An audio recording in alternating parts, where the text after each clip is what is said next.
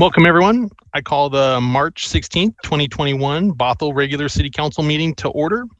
Before we move on to the agenda items, I'd like to acknowledge our remote meeting format. Proclamation 20-28 regarding open public meetings is still in effect. Therefore, this meeting will be held entirely remotely. Public comment will be allowed both in writing or verbally. Sign-up sheets were provided by the city clerk's office via the link in the agenda. The video of this meeting will be streamed live as well as recorded and available for later viewing on the city's YouTube channel. A call-in number was provided on the meeting agenda for the members of the public who wish to call in by phone and listen live to the meeting. If you have called in, we ask that you mute your devices so you do not interfere with the meeting. If a participant fails to meet, mute their device and interrupts the meeting, their connection will be terminated. For our call-in, for our phone-in callers during staff presentation, staff will make every effort to specify which materials they are, are referencing so everyone can follow along. At this point, we will take roll call of the council members by position number. Please say here when the city clerk calls your name. Thank you. Uh, Deputy Mayor Zornes? Here. Councilmember Thompson? Here. Councilmember McCullough? Here. Councilmember McNeal? Here. Mayor Olsen? Here. Councilmember Duerr? Here. Councilmember Agnew? Here. All present. Thank you. Lastly, before we begin, I'd like to reiterate some of our meeting guidelines. Speak clearly and pause frequently. Mute your microphone when not speaking. If you're also streaming the live video feed, please turn the sound off as there is a delay. For our council members, if you would like to speak, please indicate by holding up the yellow card in the lower portion of your screen. This will prevent two people from speaking at the same time. And please remember to mute your microphone when you're not speaking. All right, our first item is meeting agenda approval. Are there any changes to tonight's meeting agenda?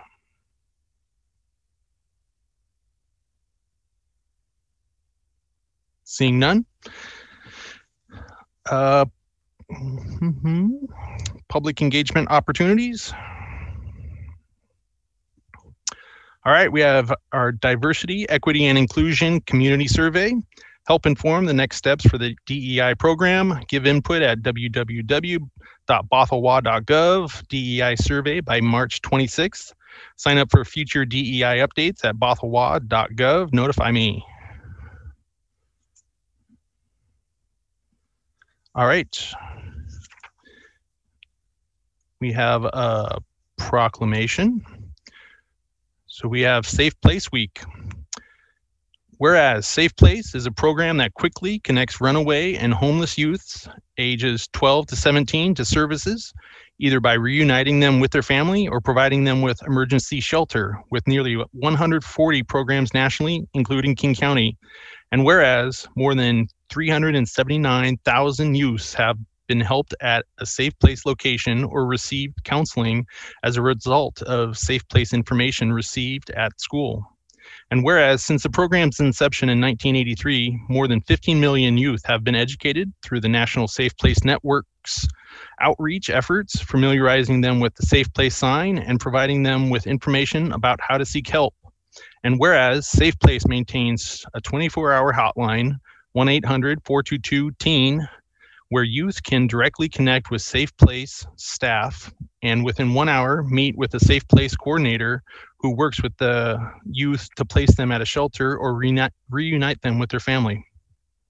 Whereas Metro buses, local businesses, and nonprofit organization are among the over 2,100 places in King County that have volunteered to serve as locations where youth can request assistance and staff members are trained to respond and immediately contact Safe Place. And whereas Friends of Youth and Youth Care have run in partnership since 2012 to provide Safe Place services for youth in crisis across King County. And whereas the success of Safe Place is based on public and private collaborations, and increased awareness will encourage more communities to establish safe place locations where youth can readily access the help they need. Now, therefore, I, Liam Olsen, Mayor of Bothell, do hereby declare the week of March 21st through the 27th, 2021, as Safe Place Week in the city of Bothell.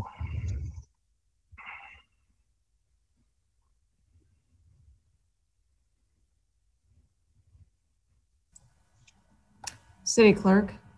Uh, it looks like um, I can't see that Bryan Thompson is in, but I do see that there's a phone number that just popped in um, And so we do have a caller, which might be him. Um, If that is you, Bryan, could use the raise hand feature and we'll panel you into the meeting so you can accept the proclamation.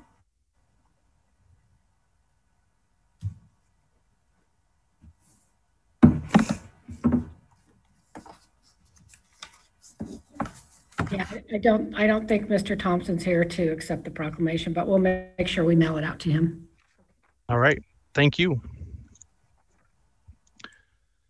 All right, looks like our next, next item is the Snohomish Health District update. Give us just a second. We'll panel Mr. Straughn in from the Snohomish Health District.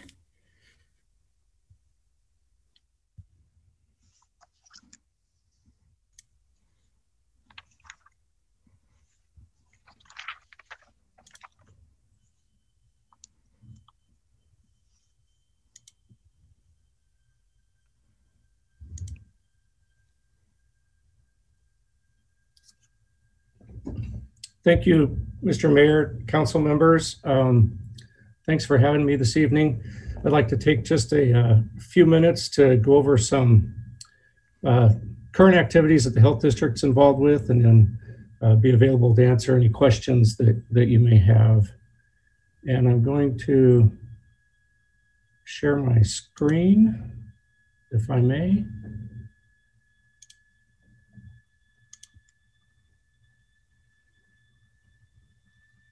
All right, is that working? Yes. Great, thank you. Um, so as I was introduced, I'm Bruce Straughn with the Snohomish Health District. Get that off of there. I'm the um, Assistant Director of our Environmental Health Division. Um, one of our two operational divisions of the Health District, the other would be Prevention Services. Um, briefly, we'll talk about a few non-COVID things because we had a few non-COVID things going on. Um, a lot of our world stopped, but not everything for the last, I guess it's been a year now. Um, we've been working on a number of uh, fairly large projects uh, here at the Health District. We provide a lot of our services online. We've been looking to expand that. Um, I find it odd that I'm old enough to talk about an aging IT infrastructure, but that's where we're at. We've um, got some issues that um, we're dealing with with that and, and working on. Um, we didn't get as far as we wanted. Um, the building we are in um, here on Rucker Avenue in Everett that the health district owns is only about one third occupied by health district staff. And, and we have one tenant, the IRS. Um, we're going through a process now with an architect firm to determine how to best use our space, which should ultimately lead to a fairly massive remodel project um, and then hopefully leasing of uh, space that we're not utilizing to, to tenants. And then we've got some um, internal projects to increase our transparency, the amount of data that we make readily available to the public. Uh, a lot of that we do via our existing websites and that, and we're also entering, entering into an agreement with um, ClearGov to have a, a website presence dedicated to that our environmental health division, this is um, hopefully what 2021 will look like. 2020 was not so much. We conduct annually about 4,500 inspections of restaurants and other food establishments in the county. We respond to about a thousand complaints of different sorts. Um, we permit public pools, which is really any pool or spa that's not in a at a single family residence or a duplex. So hotels, um, health clubs, apartment buildings, condominiums, uh, YMCA's, sort of folks like that. And then we inspect um, schools and the kitchens associated with them. In our prevention services division, um, this is uh, last year what went on sexually transmitted diseases didn't take a break with covid. We had 3000 cases reported. Um, our work with child cares was three times more than normal. That that increase is directly related to assisting folks with um, technical advice. Um, a thousand other communicable disease cases separate from COVID-19, and then our um, vaccine for children compliance visits were ongoing. This, these statistics are Bothell area is how I would word it. We don't have the GPS, I, GIS capability with a lot of our data to um, specify it to if it's in city limits or not. So I'm not personally aware of how well your zip codes line up with your city limits, but so this, all of these, this data is from um, Snohomish County side of Bothell um, in zip codes that are assigned to Bothell. So 257 food uh, establishment permits, associated complaints. Um, To date, 205 COVID cases involving businesses with Bothell addresses. And then at our community-based testing sites, we've had um, almost 4,000 folks with Bothell addresses come in to, to be tested. Our website has a lot of information on um, our coronavirus response. Um, we try to keep it current with all the current guidance from the State Department of Health and the governor's office, as well as a lot of statistical data. Um, this is a heat map of the cumulative COVID cases through February, February 20th. It says, um, I haven't seen a map comparing this with our population density in the county, but I suspect it lines up really well. So um, it's kind of how you would expect those areas of the county that have the densest population um, have the highest number of cases. And then um, I sent an email to try to get clarification on this slide. I think it's missing a word. It says rate by zip code for two week period. I believe it's a cumulative rate per zip code um, because it indicates that some of these are 400 to 500 plus per 100,000 cases. And our, our current case rate is nowhere near that. It's, it peaked at about, for the county as a whole, around 480 cases per 100,000 um, in the early part of January. It's been coming down ever since then. Um, I saw a new number. It was either yesterday or today. We're down to like 78 or 79 cases per 100,000.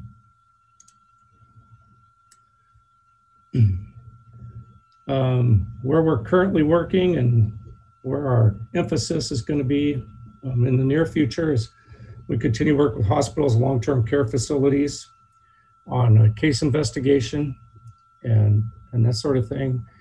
Uh, disease prevention, we're, we're still doing case and contact investigations. That will likely continue as long as we have COVID cases in the community. Um, and outbreak investigations. Outbreaks are generally described as when you have two or more uh, identified cases with a common commonality assigned with them, whether it be a location they someone was at at the same time. Most often now, it's uh, we're talking about schools or employers. We're doing a lot of work answering school uh, questions for schools. Um, I know you hear schools in the, in the news a lot lately. The guidance from the state is changing um, on an almost daily basis. it's difficult for schools to keep up on that. So we kind of are a resource for them to uh, get the latest work. The um, health district, together with the county Department of Emergency Management, has formed a vaccine task force. Uh, the primary role of that task force is operation of, I believe now it's five uh, mass vaccination um, clinics. Several of them are drive up, two of them at uh, one at Boeing, out by Boeing, and the other one at the uh, Angel of the Winds Arena are walk up uh, where vaccines are being administered.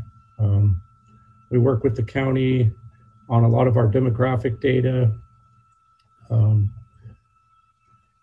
and then prioritization um, work to make sure those who should be, can be vaccinated, vaccinated are. Um, here is some data on vaccines. And unfortunately, you know, this, this changes daily. And this is from February 27th. So there's a few anomalies in here um, that have kind of changed a little bit. This top part is um, doses actually received in the county. And then for this one week, the number of doses that were allocated or going to be sent to us. And so then, and then the totals are down here. Um, so the total doses as of February 27th was 230,000 for the county. Down here is administered. Um, so you'll see Johnson & Johnson, the one-shot vaccine, we received 5,000 doses this week. We have not received anything since then. And we're not really sure why that is. It kind of, it surprised us when we got it. We got a notification on a Wednesday that we were going to receive it. We got 5,000 doses and um, no more has been allocated through DOH at the state since then. I, I think Johnson & Johnson vaccine is coming into the state, but it's being diverted to pharmacy groups and other clinical groups that are working directly um, with pop-up clinics, targeting schools and that sort of thing. So this vaccine came in and down here it shows zero vaccines administered when in reality now the Johnson & Johnson vaccine is um, almost depleted. There's also a big discrepancy here. Uh, doses received in the county, 230,000 and 160,000 administered. This was right around the time that the big uh, snowstorms and blizzards were happening back east. And we went about two full weeks without receiving any vaccine in the county because of that. And then it all came at once. So for about another week to 10 days after that, there was kind of a glut of vaccine amongst those providers who did have it until they were able to push it out. Um, these numbers are much more in line now. Um, moving forward, so in, I believe it was December of 2019, our Board of Health adopted a strategic plan for the health district to guide us in our next five years. And then COVID happened and we promptly set the thing down and haven't hardly looked at it since. So we're a bit behind in a lot of our um, strategic, in our initiatives and our strategic plan. Um, this was some of the goals within that. A big change for citizens in the county is this one on vital records. On um, January 1st of this year, our state became what's called a closed state for vital records. Uh, used to be if you had somebody's birth date and legal name, you could buy a copy of their birth certificate. Now you have to prove a relationship status with the person in order to get a birth or death certificate for that person. So it's about protecting people's privacy, um, but it creates a lot more work and unfortunately expense for the public in getting these records. It's a lot more time consuming than than it used to be, but it, it is a change. Um, made it very difficult having our office closed to implement these changes because uh, you know a lot of folks just don't work on the internet and i do it a good part of my day and so it's second nature but a lot of folks don't and so it really created some problems for people getting these records that they really need um, we are we do have our office open again now it's by appointment um, so we're able to take care of a lot of those a lot of that business I have a couple slides uh, here on the health district revenues.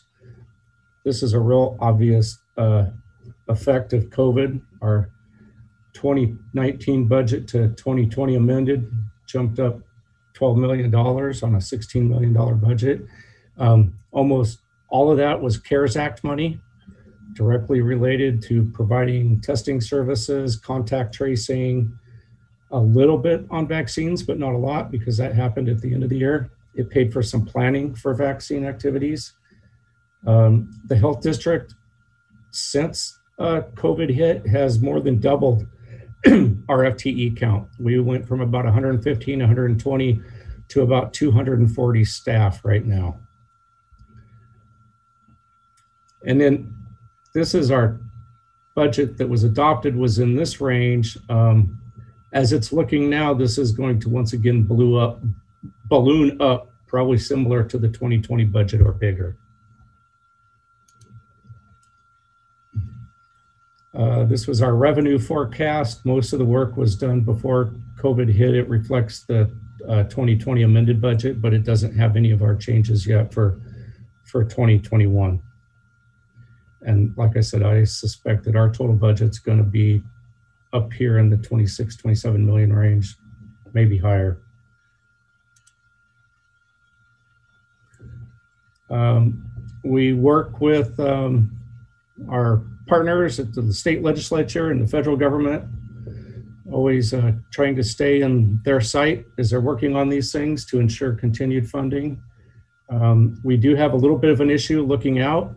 Thankfully, it's probably six or seven years from now where the trend is that our um, revenues won't keep up with our expenditures in the long run.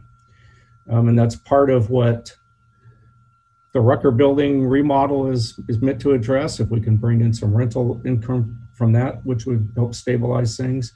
And then also a uh, public health foundation has been created in Snohomish County, Sound Foundation for Public Health. And um, it's just now beginning to get organized. They have a board. I believe the paperwork that this references has been filed, so it's a, a legal nonprofit um, now. And so we're working on an MOU between the foundation and the district to establish what the relationship for the two is. And the long-term goal is for this board to search out and provide uh, grants and contracts and that sort of thing for um, to help provide increased public health funding. Um, hopefully to the health district, but it's not a health district organization, so they'll be free to direct those funds to um, any any agency or other group in the uh, count, county that's providing public health services. Uh, our no- website here again with some uh, of our social media sites that we're on and, and our website for more information. And contact information for myself and Sean Frederick, who's our administrator and can't do all of these presentations. He needs a break now and then. So you got me. And that's that's the presentation. If uh, you have any questions, I'd be happy to try to either answer them or write down the question and get back to you with an answer if I have to do that. Well, thank you, Bruce. It looks like we have a question first from Deputy Mayor Zornes. Uh, real fast, uh, the uh, vital, what do we call it? The vital records. What happens if it's a brand new parent that wants to get a, uh birth certificate for their child? Do they have to be there in person and prove that they're related to that infant? You know? Um, you have to, you don't have to be in person. You, you have to either come in in person or mail in copies of documents which would demonstrate that. Oh, perfect. Okay, Yeah. good. And then the other thing is uh, the Sound Foundation for Public Health sounds like a great assist. Are they going to also include um, mental health services? Nonprofit, you know, helping with mental health and. I would get- don't know the complete scope of that. Okay, I can look All right. into that, get that. well, I'll keep an eye out for them. Sounds like a great assist for, for, um, for you guys. And that's it. Th- Those are the only questions I have. Thank you. Thank you.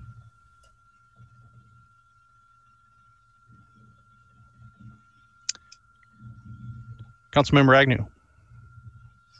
Have you guys been having an issue with people getting their initial vaccine and then not showing up two weeks later to get their final vaccines? It's really hard to track that because you don't have to go back to the same place to get your second shot. You, you need to receive, if it's the Pfizer or the Moderna, you have to receive the same type of vaccine, but it doesn't have to be from the same provider. So it's really difficult to track that. I, I know on a countywide basis, we're not having problems the- state when they ship the vaccine they actually differentiate between doses if it's if it's intended to be for persons receiving their first shot or their second one and so we're having to actually in the drive up clinics advertise them as such You know, these days are for people looking for an initial shot. These are for, for um, second doses. And they have to keep the vaccine counts separated by that. And there hasn't been an issue pushing the second doses out. But what percentage of folks are not following through, I, don't know.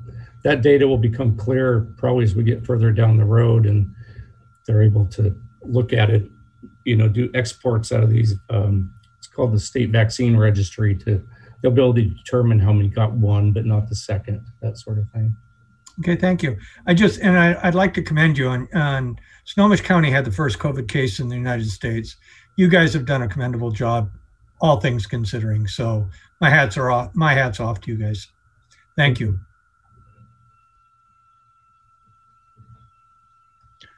All right. Thank you, Bruce. Great presentation. Thank you very much. All right. Up next, we have a staff brief, staff briefing on the Conservation District Services in Bothell. And I believe Christi Cox will be presenting our surface water program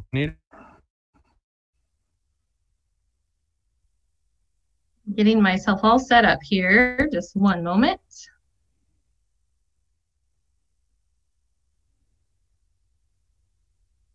Okay. Mayor, can you confirm that you can see my screen? Can. Yes. Good. All right. Thank you so much. Good evening, Mayor, Deputy Mayor, and council members. Um, my name is Christi Cox, and I'm one of the City of Bothell's Surface Water Program coordinators. I know you have a very full agenda tonight, so I do really thank you for the opportunity to share information about conservation district services that are available to Bothell residents. Conservation districts benefit communities by providing free technical assistance to land managers. They work with rural and urban residents to provide guidance about stormwater treatment methods like rain gardens, bioswales, and detention ponds, as well as assistance with habitat restoration, invasive species removal, planting, riparian buffers, natural yard care, forestry planning, agriculture, living with wildlife, septic system care, youth education, and a whole lot more. Washington has 45 conservation districts, which are typically designated by county. Because Bothell is split between, between two counties, we have two conservation districts to serve our residents. King and Snohomish Conservation Districts, which I will refer to as KCD and SCD for the rest of this briefing because it's a little easier to say and shorter. You may hear me talk more about SCD than KCD, and that is because the two conservation districts have an agreement that allows SCD to provide services within King County whenever KCD doesn't have the capacity to do so. Successful conservation districts, I'm sorry, successful conservation efforts largely depend on private landowner participation. City staff work with the conservation districts, often in a behind the scenes role, to make sure that all city codes and standards are followed. Because conservation districts are non-regulatory agencies, we found that many residents are much more at ease receiving guidance from an expert who isn't necessarily also an authority. So now I'm going to jump into some of the services and conservation district the conservation districts have provided to Bothell in the past several years, as well as what's coming up. You'll see a lot of images in the following slides, and that's to give you a good visual idea about the positive impact that conservation districts have on our community. So I'm going to start by talking about rain gardens. Rain gardens are meant to capture rainwater from roofs or other hard surfaces and direct that water into a rain garden instead of into the storm drains. Our conservation districts have worked together on several rain garden projects throughout the city. A few years ago, they found four willing homeowners near Bothell High School to install rain gardens. SCD has a veteran crew, as you can see here, who completed the digging and preparation work for these residential rain gardens. After the prep work was finished, Both conservation both conservation districts worked together to hold a community rain garden planting party where volunteers added plants to each of the four new rain gardens in those homes. Here you can see one of the rain gardens being prepared at the planting party in 2018. And then the photo on the right is the same rain garden just a few weeks ago. One of the volunteers that attended the planting party also happened to be a developer. So he reached out to the districts to help him with a planting plan for three rain gardens he was installing in the Moon family apartments. You can see the before and after here, and it looks like his rain gardens are doing really well.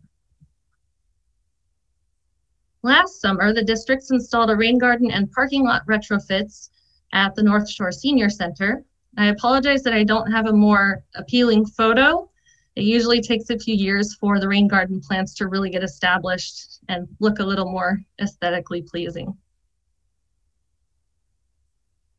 Our conservation districts also provide technical assistance for private stormwater system maintenance.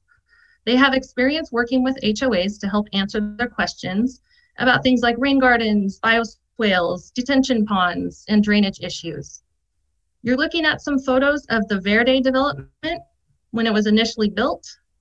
Our conservation districts have been instrumental in helping the residents understand how to keep these gardens functioning as designed, how to keep these gardens functioning as designed, and they provided planting plans to help the residents know what and where to plant when an area needs to be filled in.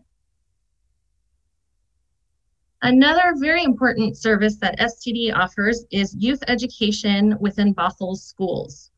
SCD provides elementary and secondary environmental science lessons to public and private schools within Snohomish County. The curriculum meets state standards and the lessons integrate local natural resource issues so that students can become more aware of the conservation issues happening in their own communities. For those schools that are not within Snohomish County or who choose to use a different program, the city also partners with Nature Vision, a local nonprofit organization, to provide stormwater and water conservation programs to students in grades K through 12 in all of Bothell schools, regardless of which county they live in. Both SCD and Nature Vision have successfully adapted their programs to fit within the COVID 19 learning environment, offering a variety of learning platforms and hybrid models. The picture on the left shows some third grade students at Shelton View Elementary learning about wetland filters. And the photo on the right shows one of Nature Vision's educators recording a video for the Salmon Cycle remote learning program. Another, I just went past my next sheet. Hold on, sorry. Another service that SCD offers is a Green Schoolyards program, where they work with a local school, in this case, Crystal Springs Elementary, to convert an existing space to serve a more beneficial purpose. At Crystal Springs, SCD installed three cisterns to capture the rainwater that ran off the roof of one of their portables, and then they were able to use that water on an edible garden that was behind the portables. SCD also helped them convert their courtyard area to be a native plant habitat, and the teachers and students decorated its pathway with rocks that they painted representing who they are. To get students even more involved, the higher grade level students gave presentations and answered questions for all of the younger classes about how, how cisterns function, their purpose, and why saving water and preventing stormwater pollution matter. Both districts offer a number of stewardship workshops each year, including topics like septic system care, living with wildlife, beautifying your streamside property, and natural yard care, to name a few. Many of these workshops used to be held in person, but were offered online during COVID-19. You're looking at a screenshot from last year's Living with Beavers workshop and this year's Best Horsekeeping Practices workshop. One of my favorite in-person workshops that we've done with SCD was a do-it-yourself rain barrel workshop at the Bothell Operations Center a few years ago.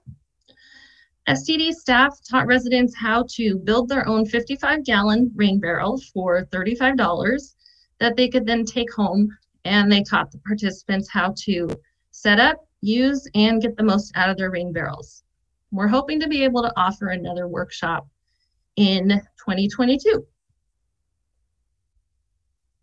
Both conservation districts have their own volunteer programs, but whenever an opportunity comes around, we like to partner with them to host events here in Bothell. A number of years ago, the city worked with KCD to improve habitat along the banks of Park Creek in the Bothell Business Park, as you'll see here. This effort has required maintenance and some replanting throughout the years, so we've held several volunteer events with KCD to complete some of those tasks. One of these events, Orca Recovery Day, is held each October and is celebrated by conservation districts throughout Puget Sound. It's been a great way for local volunteers to lend a hand. As you can see in this picture, this is a group of friends and family who came out to Park Creek to spread mulch and add about 300 native plants on a dreary day in October to celebrate a friend's birthday. Now let's talk plants. Both conservation districts offer annual plant sales for native plants. Before COVID-19, they offered walk-up sales, as you can see in this photo of KCD's 2019 sale. In 2020, and again this year, both districts were able to modify their plant sales to comply with COVID-19 safety guidelines, essentially offering a drive-through for folks to pick up plants that they had pre-ordered. These native plant sales are popular because a lot of native plants can be kind of difficult to find in our local nurseries. And at the annual sales, most of the plants are sold as bare root, which means they're not planted in pots. They don't have any soil with them. So you can purchase them in bundles for a pretty low price. Both districts offer resources and videos about how to properly store these plants until they're ready to be planted, and then also how to correctly plant them to help them grow successfully. The last program I'm going to talk about is one I'm really excited to be able to offer this year, and that is SCD's Lawns to Lettuce program. This program encourages landowners to convert a portion of their lawn to grow edible plants in a way that builds healthy soil, protects pollinators, minimizes pesticide use, reduces runoff, and conserves water. And if your garden space, if you have space in your garden to grow more vegetables than you need, you can consider donating them to a food bank through the Plant a Row campaign. The picture that you're looking at is from a project just outside of city limits that SCD helped with a few years back. This is called the 13th Place Garden, and it was a collaborative effort between some neighbors that found themselves with a vacant lot and wanted to do something useful with it.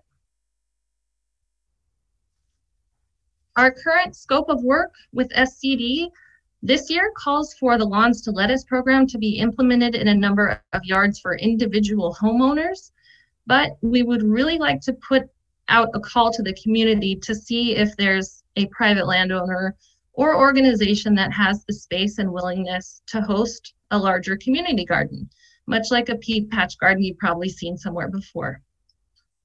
Bothell United Methodist Church graciously provided space to host several community gardens for about a decade, as shown in this picture taken a few weeks ago. But that portion of land has since been sold. So we're hoping to find a new location and some community members willing to volunteer as managers for a new garden.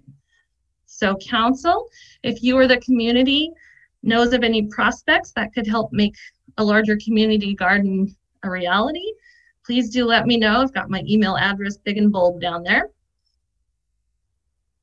Now that we have reached the end of the slides, I would like to thank you again for giving me the opportunity to share all the wonderful things that our conservation districts are doing in our community. And I'm happy to answer any questions that you may have.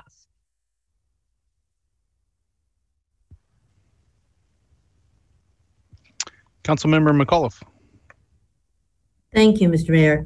Um, great presentation, Christi. I loved it. Oh, one of my, one of my biggest uh, things I've ever done over my career is um, uh, a program called uh, Leave No Child Inside. And so it was like to get children outside to learn through nature and through gardens and through everything we could do. So loved your presentation. Um, on the community garden, though, let me ask you, um, what do you contribute? So somebody gives you, say, a piece of land. So what do you, as a conservation district, do to contribute? As I understand it, and I would need to get a few more details from SCD to be able to answer totally accurately, but they would come in, they would help educate people about how to run the program, how to build the raised beds, what different kinds of growing containers you can use.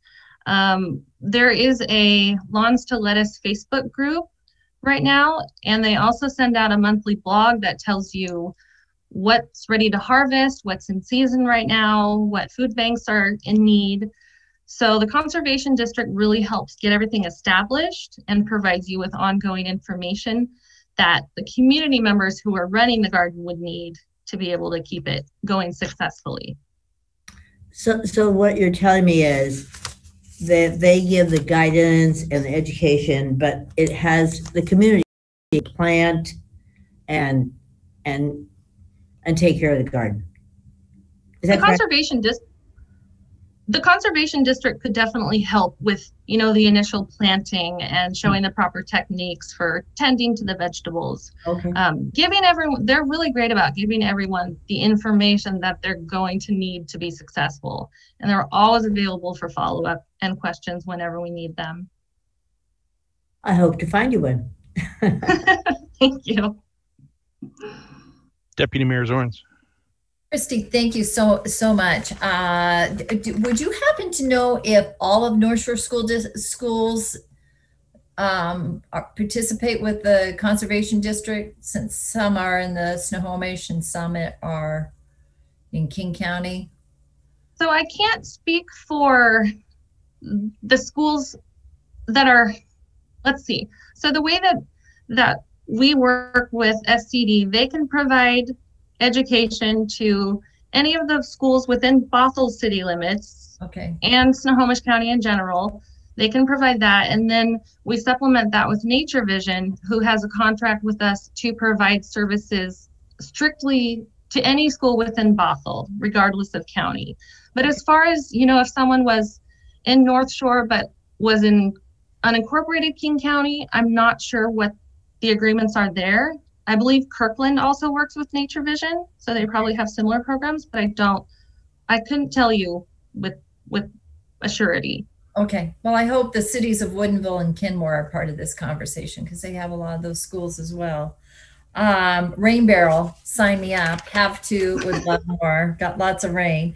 Um, and there has been so much uh, uh, buzz in the community on social media for pea patches and community gardens, so that however the city can, you know, put out the alert that we're looking for people who have a vacant lot. I mean, I- there are people chomping at the bit for it. So I'm sure you've thought about that, but um, I would be glad to, you know, pass on to my community a link if the city had something to set up. And Yeah. And and I know of a church that has a pea patch, so I'll I'll email that to you later.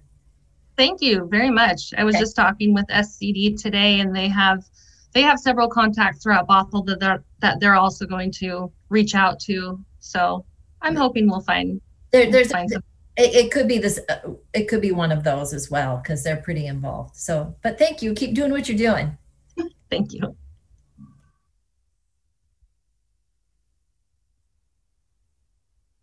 All right. Thank you, Christi. Great presentation. Enjoy the rest of your night.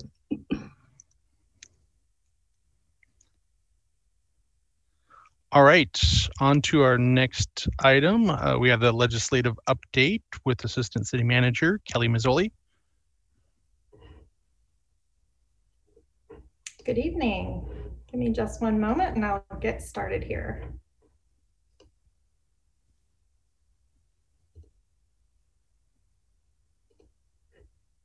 Can you see my presentation?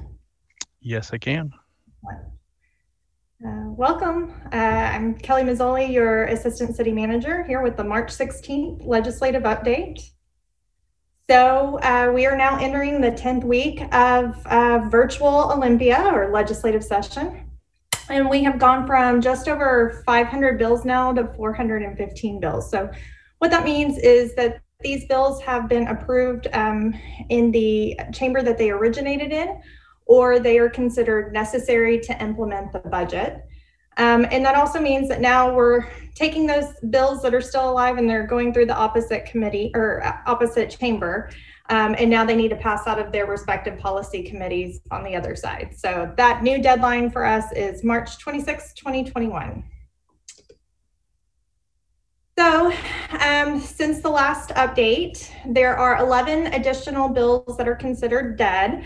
Um, of those, so we're still supporting, there's four. I'll go over those a little bit later in the presentation, which is down from seven um, from the last report.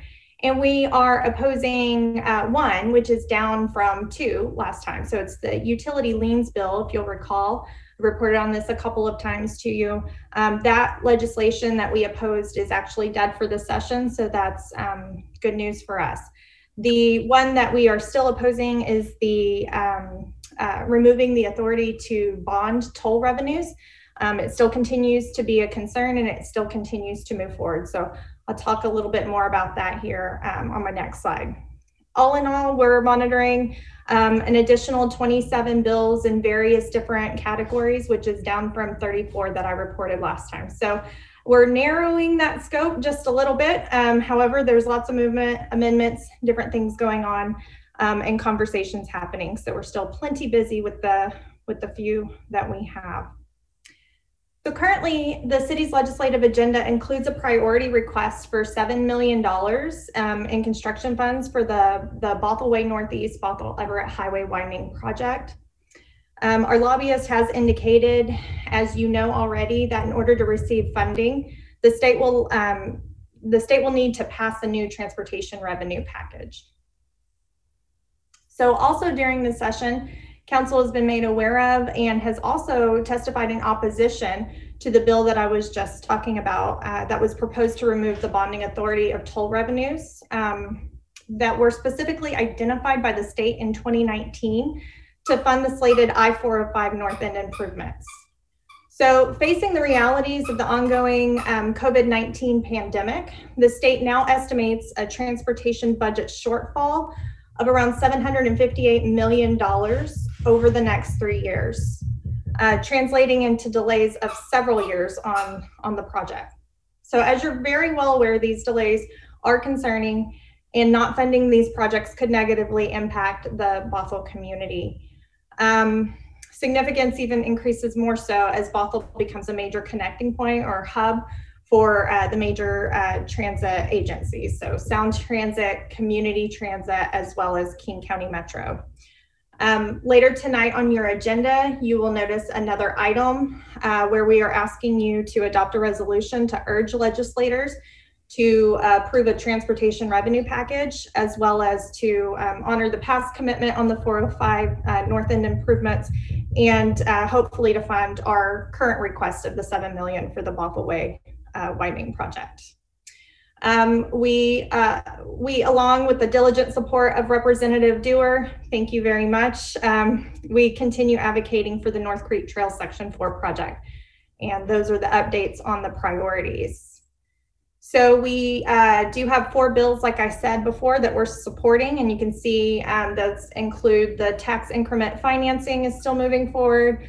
The local government fiscal flexibility is still moving forward, as well as some legislation around public meetings and emergencies. Um, of note is House Bill 1362, sponsored by Representative Duerr, um, lifting the property uh, tax cap, and it's scheduled for a public hearing here on Thursday um, at 8 a.m. And I have confirmed and have a council member who will be uh, there to testify in support um, on this legislation. So that is my fast and furious update. Um, and I will answer happy be happy to answer any questions that you may have and um, also look forward to talking just a little bit more with you about the transportation uh, revenue package resolution.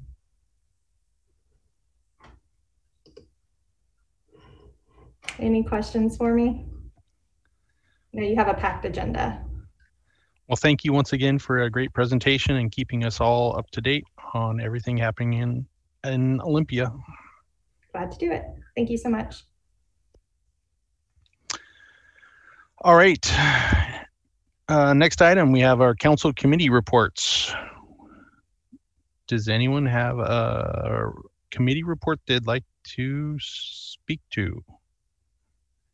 Deputy Mayor Zornes. Uh, real fast, LTAC met today. The sip and stay uh, packets that they uh, have to promote people to come into Bothell and work with the Woodinville Wine District are selling like hotcakes. And um, you'll get more information about that later, but not tonight. Um, the hundred, they were expecting a a downturn in revenues from hotel, uh, the hotel tax, and it and it, and it did go down, but it was ten thousand uh, dollars more than we ant- that than we had anticipated um, being uh, coming in. So it it it wasn't as bad as we were uh, expecting it to be. Uh, April 20th, Ralph Thompson and Danae are going to come speak about street sense. There's no motion that we have to worry about. Um, LTAC members are finding merit thinking about hybrid meetings next year, and I'm sure you're having those conversations too. So be noodling that around if you care about hybrid meetings when COVID releases its grip, um, what we might be asking to do as a city with that. And that's that's it. All right, thanks. Councilmember McNeal.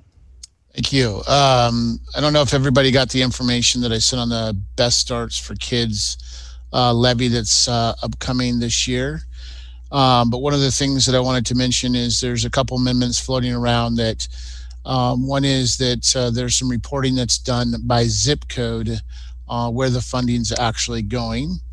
Um, and another is uh, there's an amendment um, by um, Councilmember Dembowski, uh, which I am going to co-sponsor, which uh, uh, is trying to get some funding uh, for facilities. Uh, and one of the areas would be in the North End.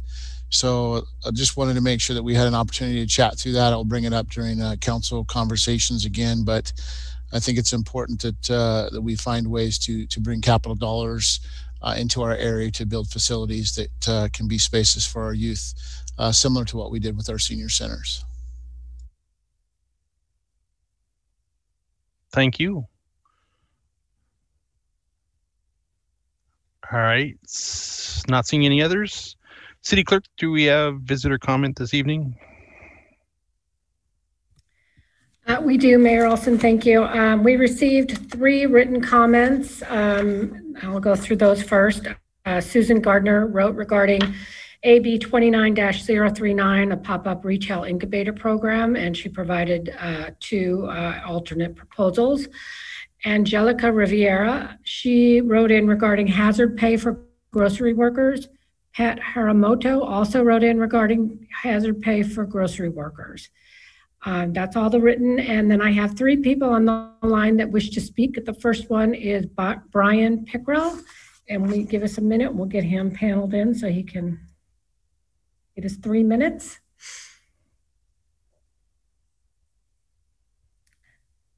Mr. Pickrell, when you get in, please unmute your mic. Okay, here I am. Can you hear me? Thank you. Yes, you have three minutes to speak. Thank you. Okay, um, uh, I hope I can get all this in in, in three minutes. Uh, the city council may or may not remember that I asked uh, about the Renee Hummel case back in October, and I didn't really get an answer to my inquiry. Uh, at the time, I was told that the city can't give out any information by law. Um, uh, I did a little bit of follow up, and that's not really correct. There's uh, Initiative 940 out there. It requires an independent investigation of a police use of force, which in our case, I think you already know it's being done by an agency called SMART. But the law doesn't actually specify that investigations have to be kept secret. Um, and in any case, this this being a, a kind of a late follow up, I wasn't asking about the SMART investigation in the first place. Uh, there's more to Initiative 940 than doing smart investigations. And the, the law also contains some specific instructions uh, for the, the State Criminal Justice Training Commission. And just reading a, a couple of excerpts, there's a title in there that says, requiring law enforcement officers to receive violence de-escalation training. And a little further down, tactical methods that use time, distance, cover, and concealment to avoid escalating situations that lead to violence. Now, that sort of thing is what I really intended to ask about. Do our officers receive in the, in the Bothell Police Department, do they receive that sort of training? And if they receive it, do they listen to it? And the, the answer is, I have no idea. I, uh, if you saw the, the video that was uh, released of, of the shooting of Mr. Hummel, that would be the exact opposite of what actually happened. I saw our officer pull his car up right in front of Mr. Hummel and get in his face almost instantly. Uh, no, no time or space allowed. And I don't think he even had time to react before the officers started shooting. Uh, now, what, what I was trying to get at back in October was I would like to know if the Bothell Police Department is doing anything about that sort of thing and to change the way that officers a- approach a 9 11 call. Um, I don't know if that officer was breaking a rule. And, and again, I want to stress this is not to do with the SMART investigation, which is only about whether to charge him with a crime. Was he breaking a police department rule by charging in like that? I, I don't know. Um, I, I would like to find out. And in general, do we have a way for our officers to avoid creating situations uh, that they created and they feel they have to shoot their way out of? Um, following up on Initiative 940, uh, it does have that requirement uh, that I partially quoted for the Criminal Justice Training Committee. It doesn't explicitly order the Bothell Police Department to use that training, or the police themselves to listen to what they're trained to do.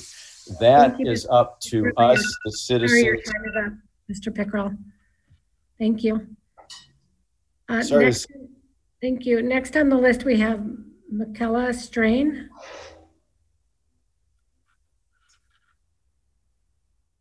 Am, am- am I still talking? Talking? We're, we're going to panel you out, um, Mr. Pickrell. You'll go back in the attendee room.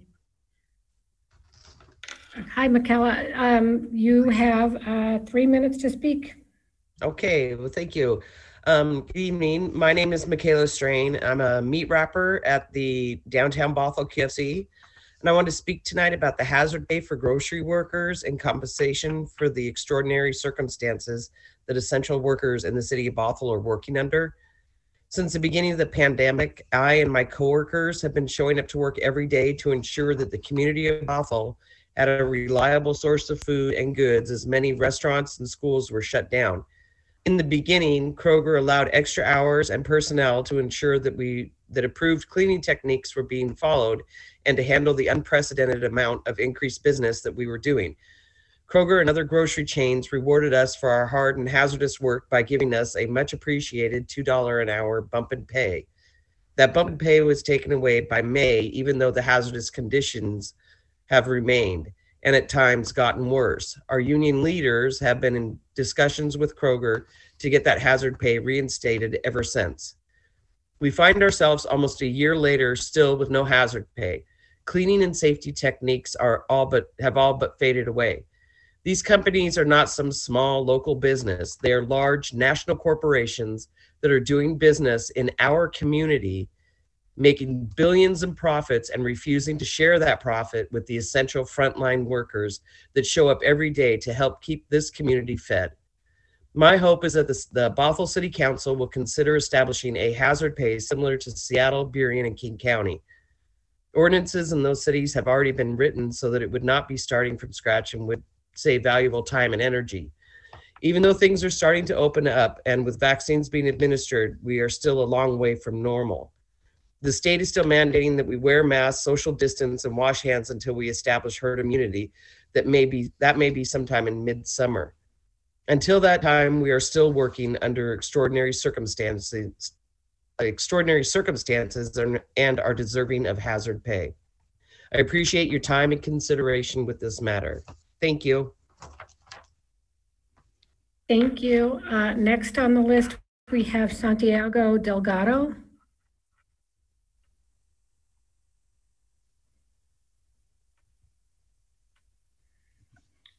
Mr. Delgado, you're muted. If you could unmute, let me see if I can unmute. There you go. Thank you. You have three minutes. Okay.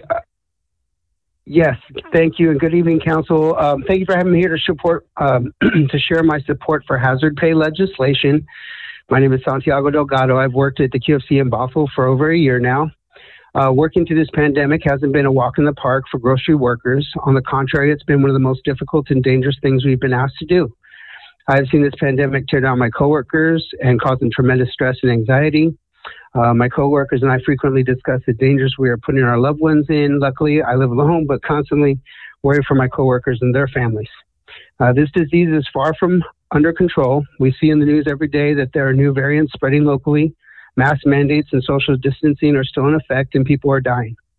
Uh, grocery workers are exposed to these deadly hazards every single day, and we're we're receiving hazard pay when the pandemic started, which did make us feel like the sacrifice we were making was valued uh, but it was shocking and insulting to have it taken away from us while we're still at risk. Um, the hazards are worse than they were before, and we're still asked uh, to social distance and wear masks. So I just don't understand we're not, why we're not still receiving hazard pay.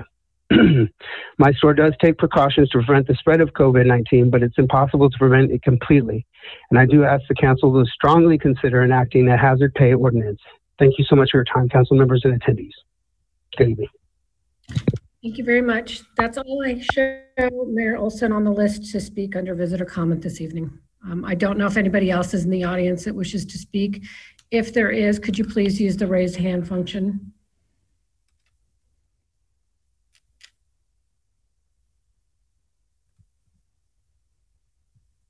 I'm not showing anybody. Mayor Olsen. All right, thank you. Uh, so on to our next item. Uh, we have our consent agenda. Nothing was pulled. Councilmember Duerr, I move that we pass the consent agenda. thank you. Councilmember Agnew. I second that. All right, we have a motion by Councilmember Duerr with a second by Councilmember Agnew. Any discussion? All right, seeing none, City Clerk. Please say yes or no when I call your name by position order number. Deputy Mayor Zornes, Yes. Councilmember Thompson, Yes. Councilmember McCallus, Yes. Councilmember McNeal, Yes. Mayor Olsen, Yes. Councilmember Duerr, Yes. Councilmember Agnew. Yes. Passes seven zero. All right, thank you, everyone. All right, next we have our public hearings. We have three of them tonight. So we have AB 21-034, consideration of an ordinance granting a street vacation to Harbor Homes LLC for a portion of the northwest corner of Northeast 80 185th Street and Ross Road. So I will now open this public hearing, and I believe we have inter- interim Public Works Director Eddie Lowe.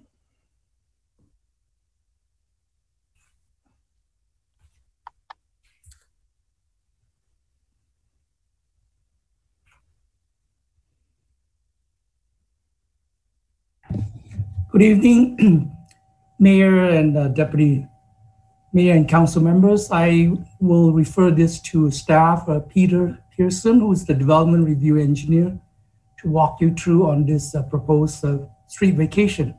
Thank you. Thank you, Eddie. Uh, Thank you, Mayor Olsen and members of City Council. I'm going to attempt to share my screen now, if I could.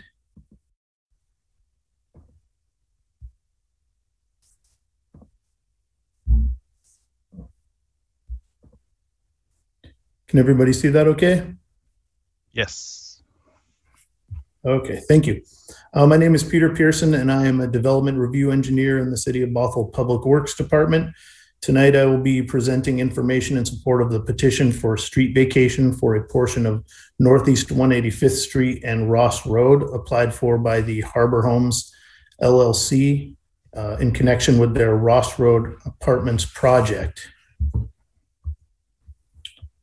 Um, So this project proposes to um, construct a- an approximately 100-unit apartment building on Northeast 185th Street between 104th Ave Northeast and Ross Road. Um, Just a quick overview on what the street vacation is. Um, Basically, uh, it's a process by which the city can transfer land from the public right-of-way to a private landowner uh, when it is deemed to be in the public's interest. Uh, And that is in contrast to a um, right-of-way dedication where the private landowner would be dedicating land to the uh, public. So you can see in the in the uh, schematic here, which is a uh, which is it of the project, the yellow shaded area is the um, area that is being proposed to be vacated. And then uh, the green shaded area over here would be the area that's uh, proposed to be dedicated by the um, uh, property owner. So the street vacation requirements are based on um, the uh, RCW Chapter 3579 and Bothell Municipal Code Chapter 1712. Uh, These um, codes have been followed in this process. Uh, The uh, petitioner submitted a petition and paid the filing fee. They met their two-thirds requirement of um, providing signatures from the abutting properties. In this case, they're the property owners of both properties, so uh, that wasn't an issue. Uh, A hearing date was set and uh, subsequently rescheduled in order to clear up some uh, discrepancies between the uh, public notice and the uh, petition. So that's been cleared up. Um, the Public notice was sent to nearby properties and city engineering staff, as well as staff from community development and uh, fire have uh, been reviewing the exhibits. So here's a close-up of the area of impact. It is approximately 167 square feet of a uh, wedge-shaped slice of land here that you can see. Um, and basically what it does is it extends the uh, property line parallel to the uh, street center line in Northeast 185th Street. Currently, the property line diverges slightly to the north toward Ross Road. And what this street vacation would do is make that line parallel with the center line of the road. It would also provide the curvature that's required at the intersection corner that we require in our standards uh, for property lines. And, uh, and, and then you can see actually it continues, well, not the vacation, but the proposed right-of-way line would continue north from that point. Uh, and actually this land on Ross Road would be dedicated. So, um, see, I'll continue down. Okay, so the purpose of the proposed action is, uh, as I said, to create a continuous property line that's parallel to the road center line, as well as the property line to the west.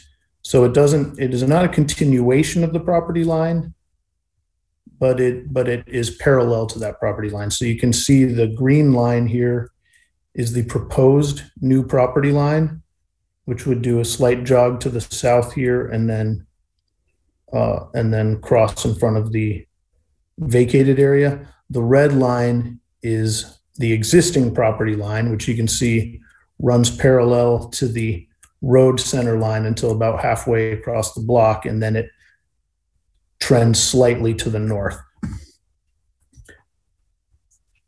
Um, let's see. So um, basically this street layout would allow for all of the improvements that we require for frontage improvements uh, associated with the project. And it also accommodates the future Sound Transit bus rapid transit line that will be using Northeast 185th. Um, so you can see the frontage improvements here are the sidewalk, a nine foot sidewalk, which is required in our downtown area. And also a uh, 12 foot lane, 12 foot through lane, and an 11 foot right hand turn lane, which Sound Transit has requested in order to keep traffic flowing for buses as they uh, travel westbound on 185th. So this uh, proposal would accommodate that. You can see that in this area at the corner of Ross Road, there is a slight bulb out of the curb. This is uh, a, a pedestrian safety slash uh, traffic calming uh, concept here, which uh, is part of Sound Transit's plan.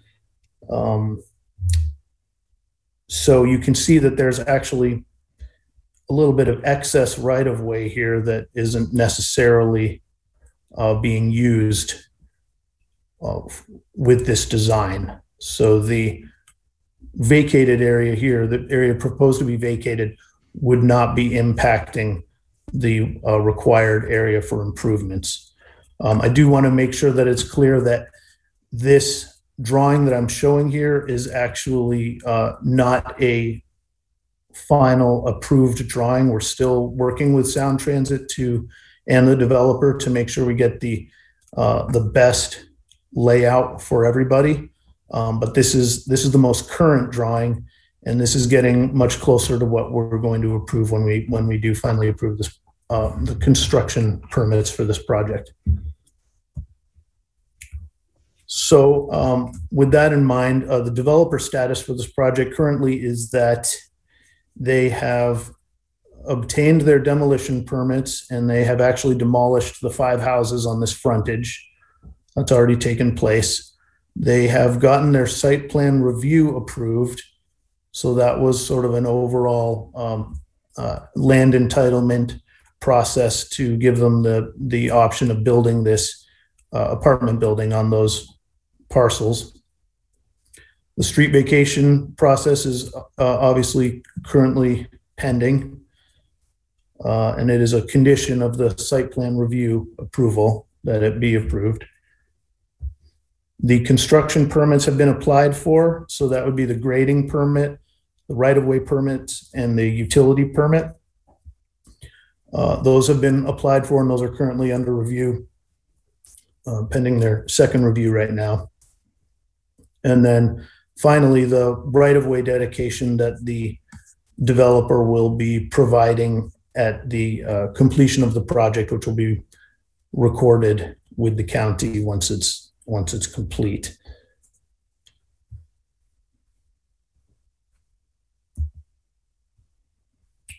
So speaking again uh, to the developer improvements, Excuse uh, me. as as you I as you just saw in Excuse me one second, Peter. Um, We've got a gentleman, Mr. Boyce, I believe, Sean Boyce. Um, Mr. Boyce, you- you're, ca- you're using the chat function. I'm going to ask that you not do that. And please, um, once we get to the public hearing portion, if you'd like to speak to the issue, we will allow you three minutes to speak. Thank you.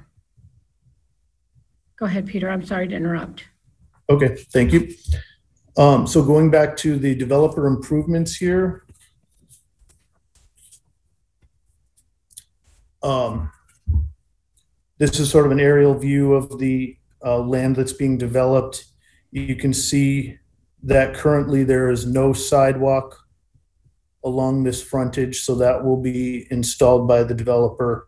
Uh, nine foot sidewalk, the turn lane will be going in here. Um, there are some improvements, some added parking places on 104th, uh, additional right-of-way dedication on 104th, as well as on Ross Road, uh, and, a, and a new sidewalk on Ross Road.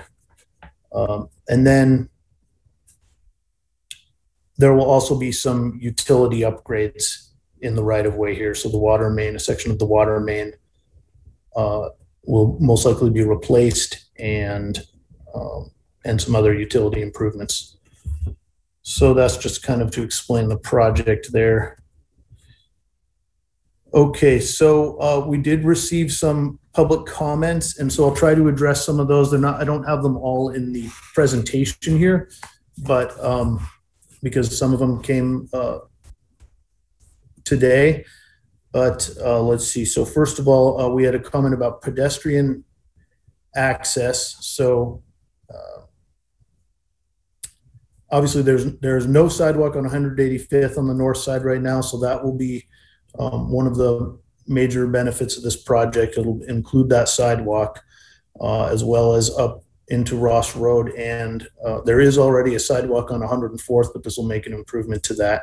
So pedestrian access, we feel, will be improved by the project and not uh, adversely impacted by the by the street vacation area. Uh, I've got some comments about uh, concerns about increased traffic. We are hoping that this project will help alleviate some of that traffic with the right-hand turn lane, and um, uh, rapid transit will facilitate um, non, you know, single single occupant vehicle traffic, hopefully. Um, and again, pedestrian access will be safer and more available around the project. We had a question about the impact trees. The vacated area would not change the number of uh, trees that are being removed as part of this project, um, to my knowledge. I had a comment, somebody was concerned that we were actually closing Ross Road, I think, and that is not the case. Ross Road will remain open. In fact, it's going to be widened slightly at the project location here. Um, so Ross Road will remain accessible from 185th Street um, going forward from this project. And I had a question about uh, will the vacation be impacting the number of units or unit size in the apart in the proposed apartment building, and um, I will probably let the uh, developer's representative speak to that. Although I think that if it is, it's it's a slight. It would be maybe a slight increase, but I think the main point of this is to essentially square up the property line so that the building setback for the apartment building can be square to the uh, center line of the road and um, constructed without uh, without that slight angle. We also had some questions um, brought up by City Council at the um, meeting where we set the hearing date, and one of those had to do with fiscal impacts. So the um, the uh, land was evaluated by Kidder Matthews for the property value as part of the petition application, and they came up with a value of $102.45 per square foot. It's 167 square feet of land, so the uh, total amount that would be compensated to the city is $17,109. When when we came in with the agenda bill for the set hearing date, um, the understanding at the time was that the code, city code required us to uh, only charge half that amount, but after re-examining the code, we did determine that uh, the full amount should be assessed for the land. So that's what the uh, amount of money would be um, to compensate for that land. And my understanding is that this would go to the general fund. There was also a question about um, coordination on 185th Street with other departments. So we've been coordinating closely with Sound Transit in particular uh, for their be- their bus rapid transit lane. Um, community transit as well, I think, is going to be using this corridor. So we're keeping their needs in mind as we uh, as we permit this project.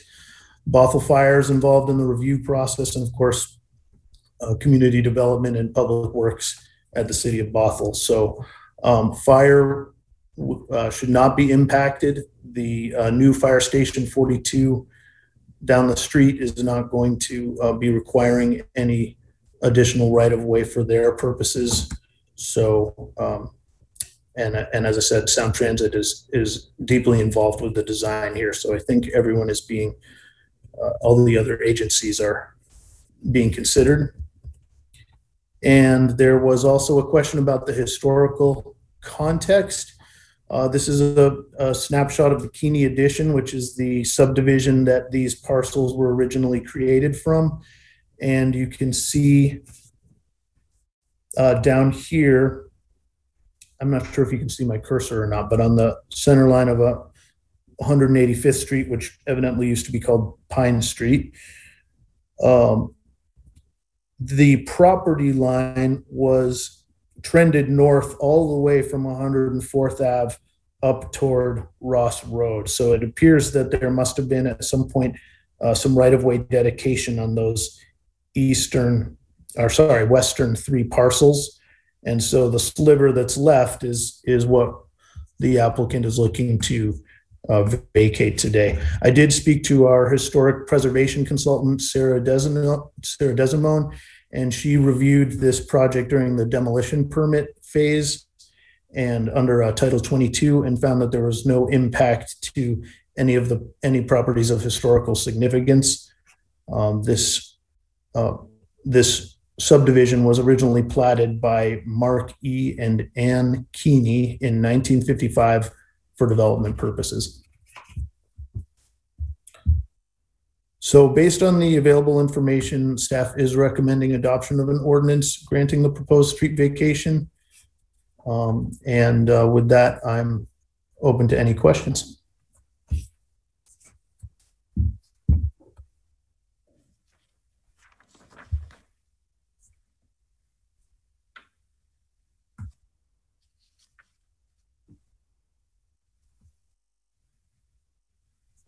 Councilmember McAuliffe. Thank you, Mr. Mayor. So as I'm looking through some of the um, review of the immediate vicinity, I'm interested in how this uh, project will capitalize on the um, Main Street and the historic charm there. It kind of says that um, this development and other developments will actually create a pedestrian-friendly downtown area. Can you speak to that at all? Uh, yes, I can. Uh, community, our community development department is reviewing the uh, uh, open space requirements, and I know that there are quite a few open space elements that are being proposed for this project. Also, it is following our downtown standards, which are which is um, part of our uh, comprehensive plan, and we're making sure that those standards are being met. Thank you. Deputy Mayor Zornes. Peter, first I have to thank you for being so diligent and comprehensive in tracking our concerns and questions. It's very much appreciated and I'm sure sometimes fatiguing, but it, it really is appreciated. So I have a few things that I just want to ask slash verify.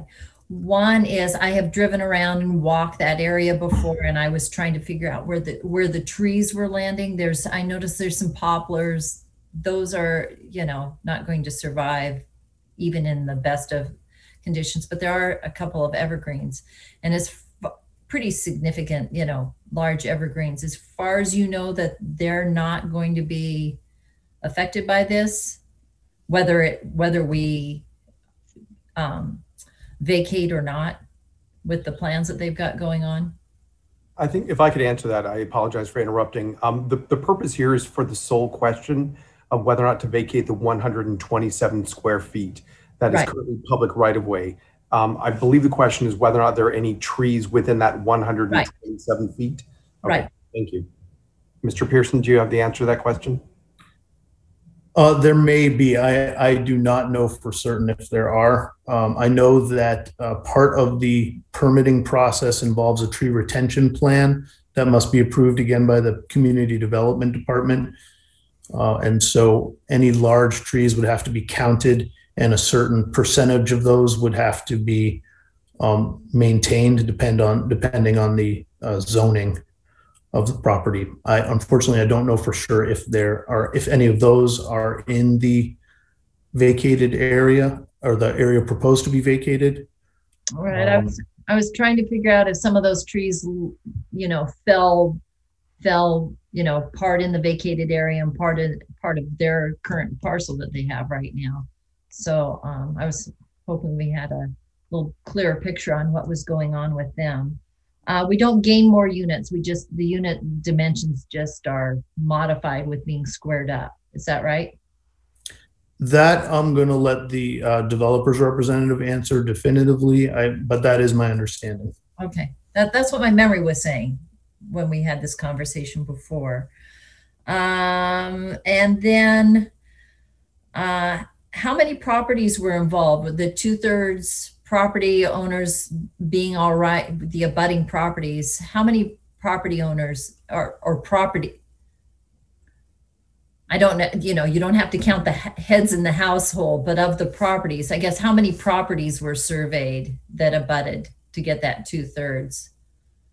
So there are two properties abutting it, um, and uh, and those properties are now owned by Harbor Homes. So the same owner owns both of those properties as well as the three properties to the west, and so uh, they were able to sign off as basically 100% of the properties abutting the area to be vacated.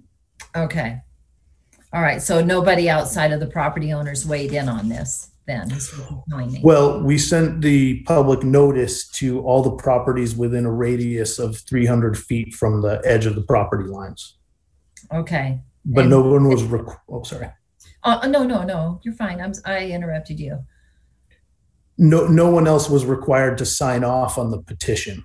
Okay. Only Did the property owners abutting the, Okay. Did you get any feedback from the people that you noticed? yes, and that's what some of those, uh, what, what I received some of those questions from that I was responding to. Okay, thank you. Uh, and then, uh, the sidewalk that they're going, because I noticed that the property line shifted with the sidewalk that's being created.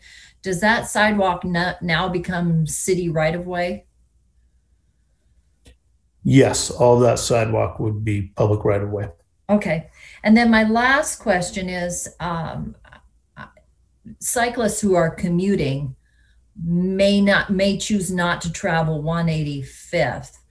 Um, but 185th, even with these improvements and changes, if I were ride, riding my bike, would not want to be there during peak hours.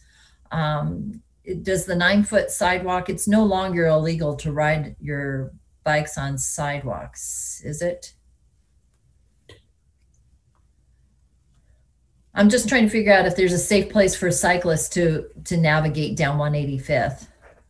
And unfortunately, I don't have the answer to that question um, right now. Um, there are the laws re- don't allow bicycles to be ridden in a business district, um, and whether or not this section would qualify as being in a business district is not something I can um, ascertain on the fly. I'd have to look into that and make that legal Okay. determination. Okay, because I know at some point people are going to want to ask about lanes accommodating cyclists. And my gut says 185th is not a great candidate for that right now. I think that's all my questions. Thank you again, Peter, for your comprehensiveness and getting some of the back history on who the Keeneys were. I, I really do appreciate it. You're welcome. And, and I can respond to the bicycle lane question uh, a little bit. And that's just to say that the proposed bike route is really along um, Beardsley Boulevard. And so there are bike lanes being proposed for the improvements along that section of the city. Uh, and, I, and I believe that that is where we're going to be encouraging bicyclists to travel. 185th will not have bicycle lanes, and that's per our um, uh, downtown plan. Okay. So that would not be the, probably the, the uh, ideal place to, to bicycle. Beardsley will be the best place. Beardsley into Main Street. Right. Okay, perfect. All right, thank you. Councilmember Duerr. Thank you, Mayor. I was going to make a motion, but I think we have to have public comment before I can do that. So I just wanted to say, I think this is a total win. It's in the downtown. It's adding pedestrian infrastructure exactly where pedestrian infrastructure should be. And it's adding housing where housing should be, um, next to a transit corridor. I, um, I, I mean, it's four feet. And um, to me, it just makes complete sense. I don't know why we would say no, but I guess I'll wait for um, public comment before I make a motion. Thanks. Councilmember Agnew. Uh, yeah, during your uh, presentation, you said that it may look like this. You haven't got the exact numbers down yet, or the or exactly how much land here and there. How close is it going to be to what you showed us tonight?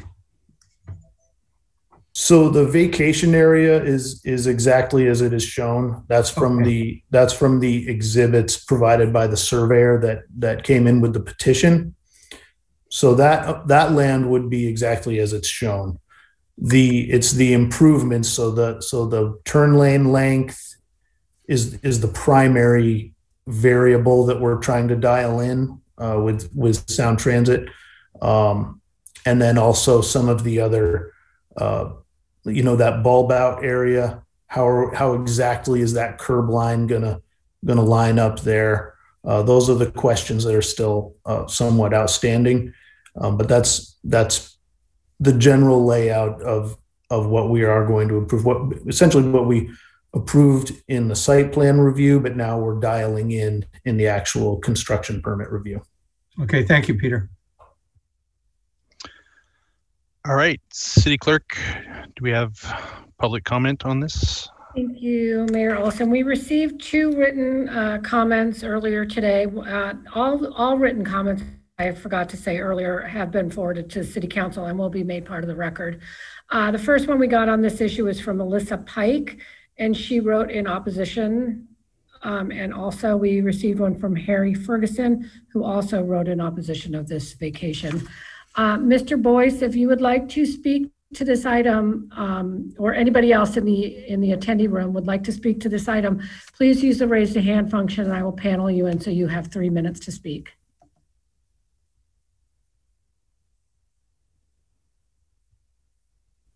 I did not have anybody else signed up to speak live, Mayor Olsen. I believe the developer, uh, the representative of the developer, Tyler Churchill, is here. Um, I- And since he is technically the petitioner, um, and it's the council's decision to vacate based on the petitioner's request, uh, it would probably be appropriate to give Mr. Churchill three minutes to address the council as well.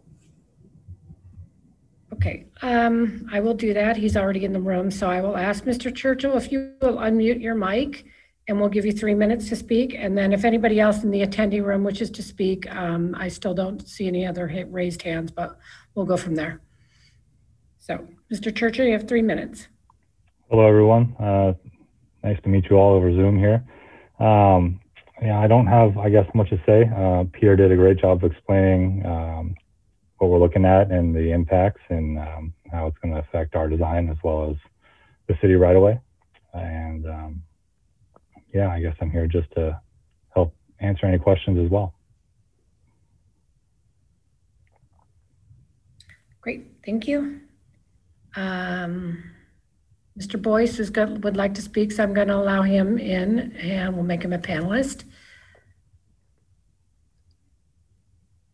Give me just a minute.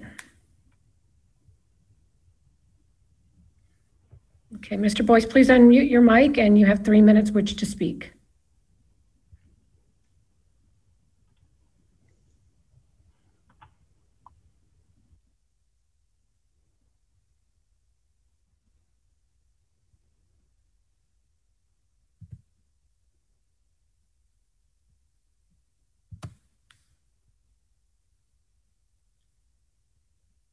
Mr. Boyce, could you unmute your mic, please?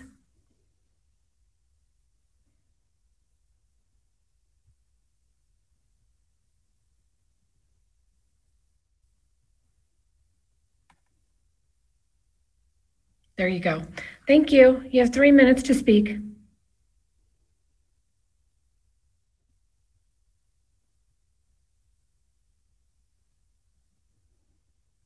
Mr. Boyce?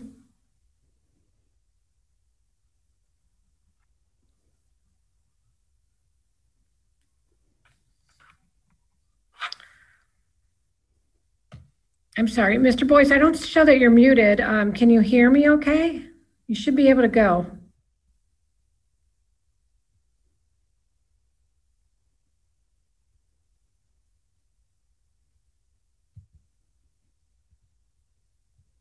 I- I just lost him. I don't know. I don't know what happened. I, he, not there anymore, so. Uh, that's all I show that raise their hand. If he comes back in, I'll see if I can get him back in the room. That's all I have. All right. Thank you. Councilmember Duerr, Uh, I move the recommended action. Councilmember McAuliffe. Second. All right, thank you. So we have a motion by Councilmember Duerr uh, to uh, approve an ordinance granting a street vacation to Harbor Homes LLC for a portion of the northwest corner of Northeast 185th Street and Ross Road, with a second by Councilmember McCullough. Any discussion?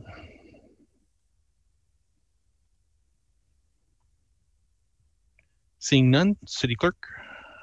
Please say yes or no when I call your name. Deputy Mayor Zornes? No.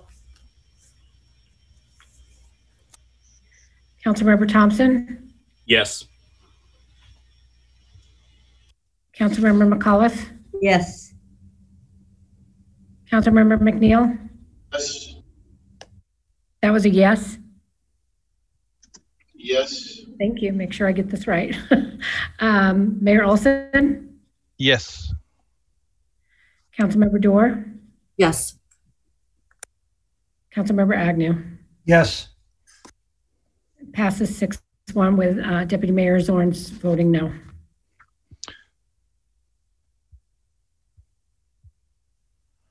I'm sorry, did I get that Are- wrong? Did I hear you wrong? No, you're right. I would just like to speak to my vote. Okay, thank you. Deputy Mayor Zornes.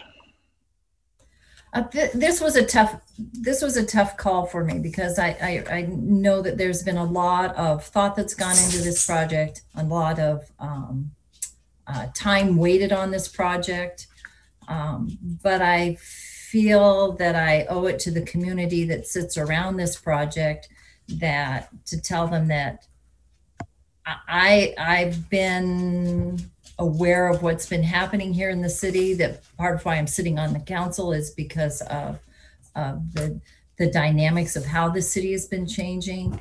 And um, I would just hope. Um, I wish all the best in this project, but I would just hope that future developments as they come into Bothell just engage the their neighbors in the conversation of we're we're coming in, we're making our legal changes here and improvements on this piece of property. Um, we would like you to be part of the conversation and help you understand what's going on here. And that's all I wanted to say.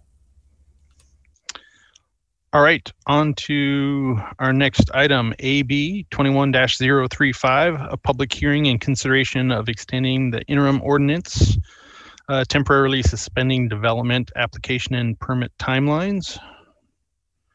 So I believe we'll uh, go to Community Development Director Michael Kattermann. Mayor Olsen, could you open this public hearing first, please?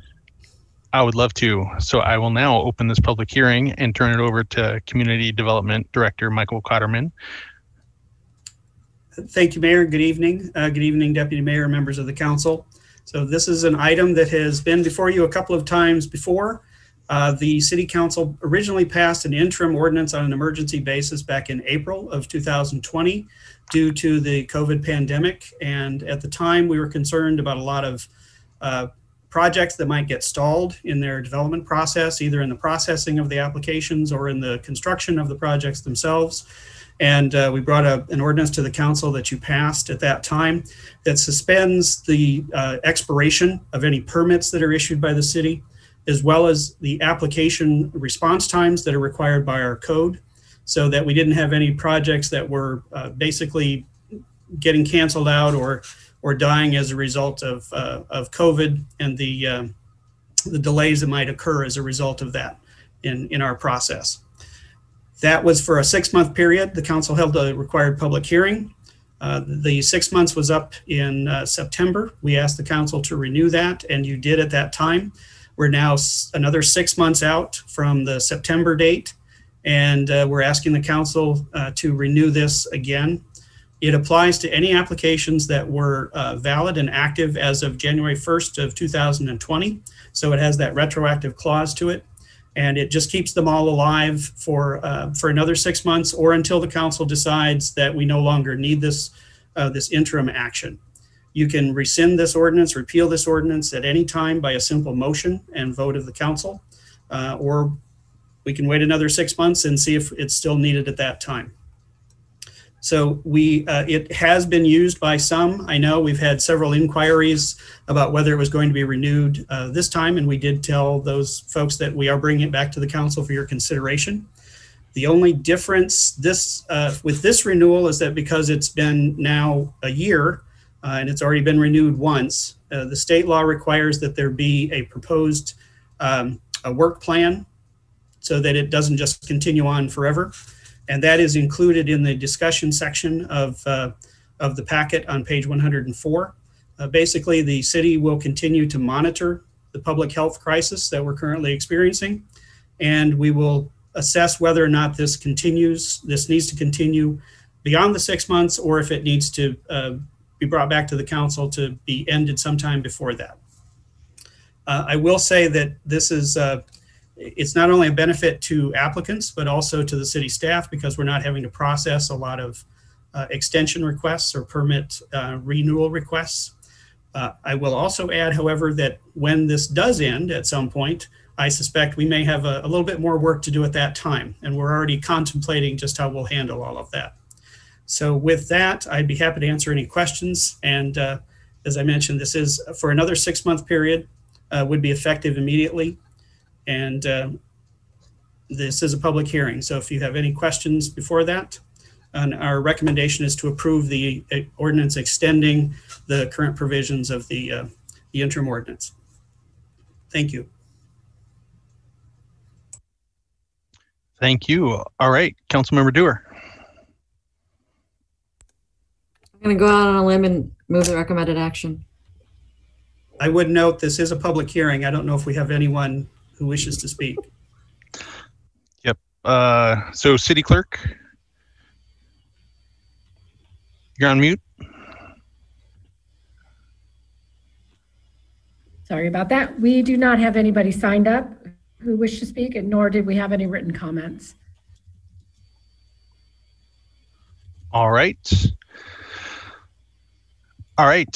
Seeing no questions, Councilmember Duerr, one more time. Move the recommended action. Thank you. Deputy Mayor Zornes. Second.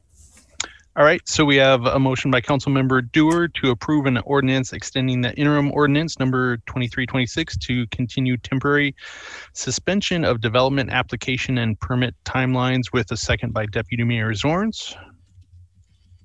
Any discussion on the item? Seeing none. City Clerk? Please say yes or no when I call your name. Deputy Mayor Zornes, Yes.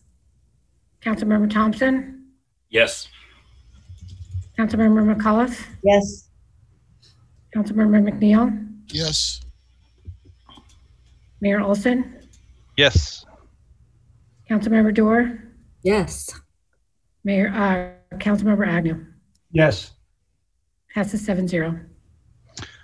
All right, thank you. All right, so on to our third public hearing. So we have AB 21-036, a public hearing for proposed amendments to the BMC Title 20 Building and Construction Code. I will now open this public hearing and I will turn it over to Community Development Director Michael Kattermann. Thank you again, Mayor. and Good evening, Deputy Mayor, members of the council.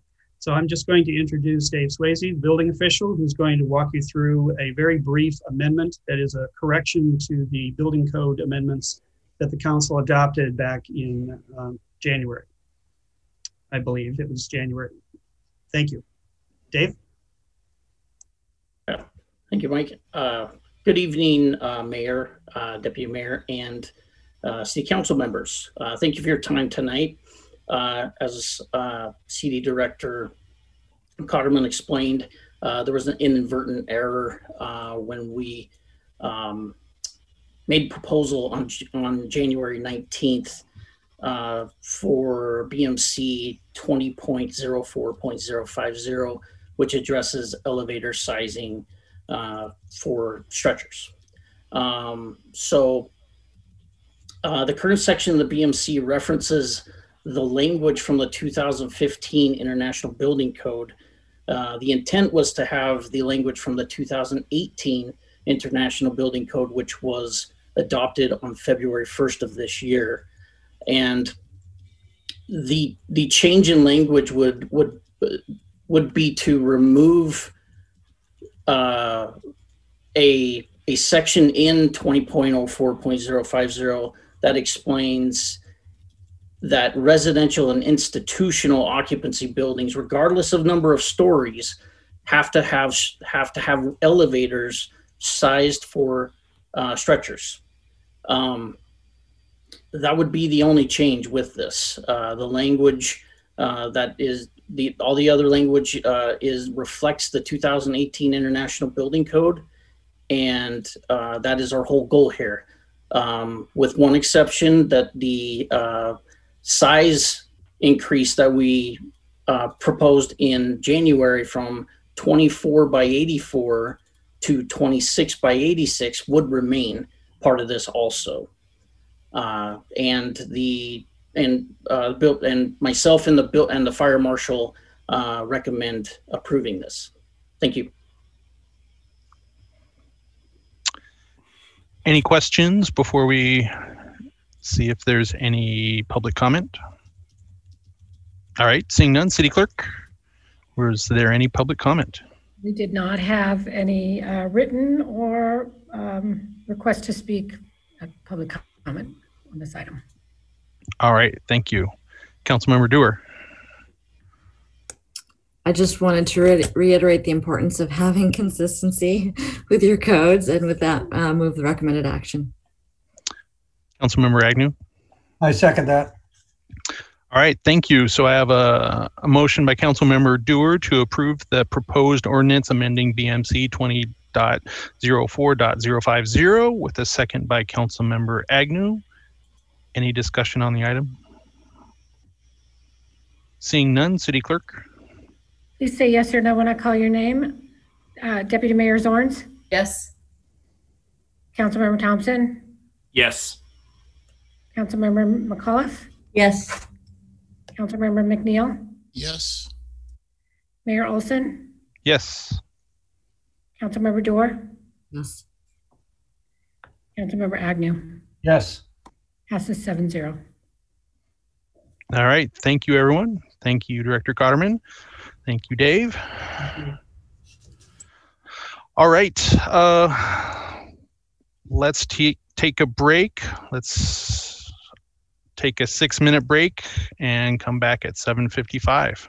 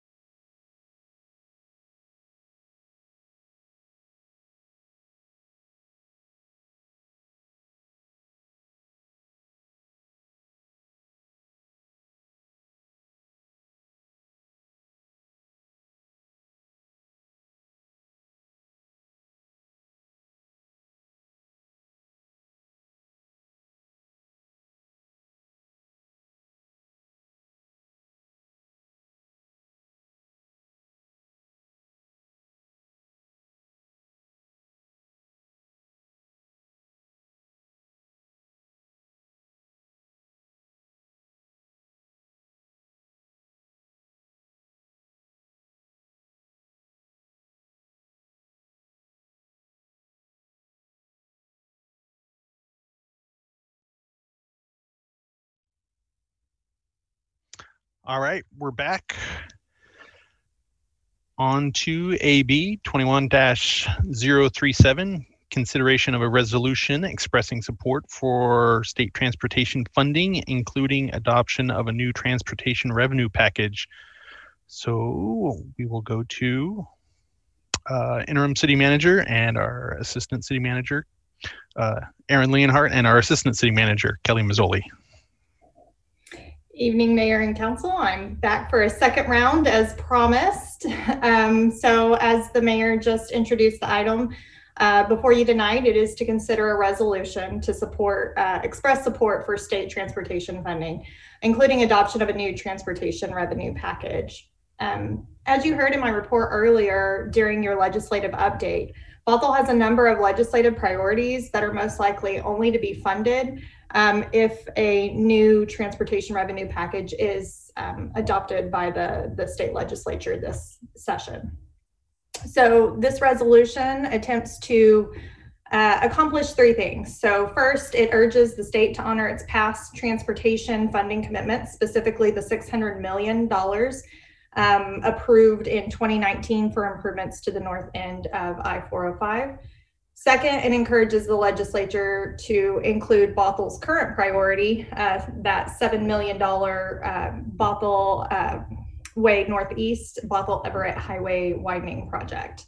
And finally, it reminds the legislature that investments in infrastructure are investments in our economy and support local job creation.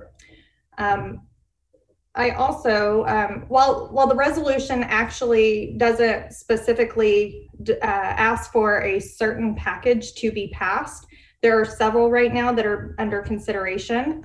And so I was just going to pull up briefly for you. Let me share this. Can you see um, my screen share? Yes. So this is a PDF overview of the five uh, currently proposed packages for uh, transportation um, uh, funding. And the Washington Ports actually put this together, but it's just a, a really good sort of side-by-side comparison. And as you can see, there are also, um, it talks about the duration and so, sort of gives you just a snapshot here and also uh, looks at some of the different types of revenues that they're proposing to use. So this link was provided to you in your week nine uh, legislative update, so it makes it really easy to get to. Um, but you can also access it on Washington Port's uh, website directly in their blog. It, I think it's maybe the uh, one of their latest or second latest um, blog posts, so pretty easy to see there on their website. Um, let me see, stop sharing here.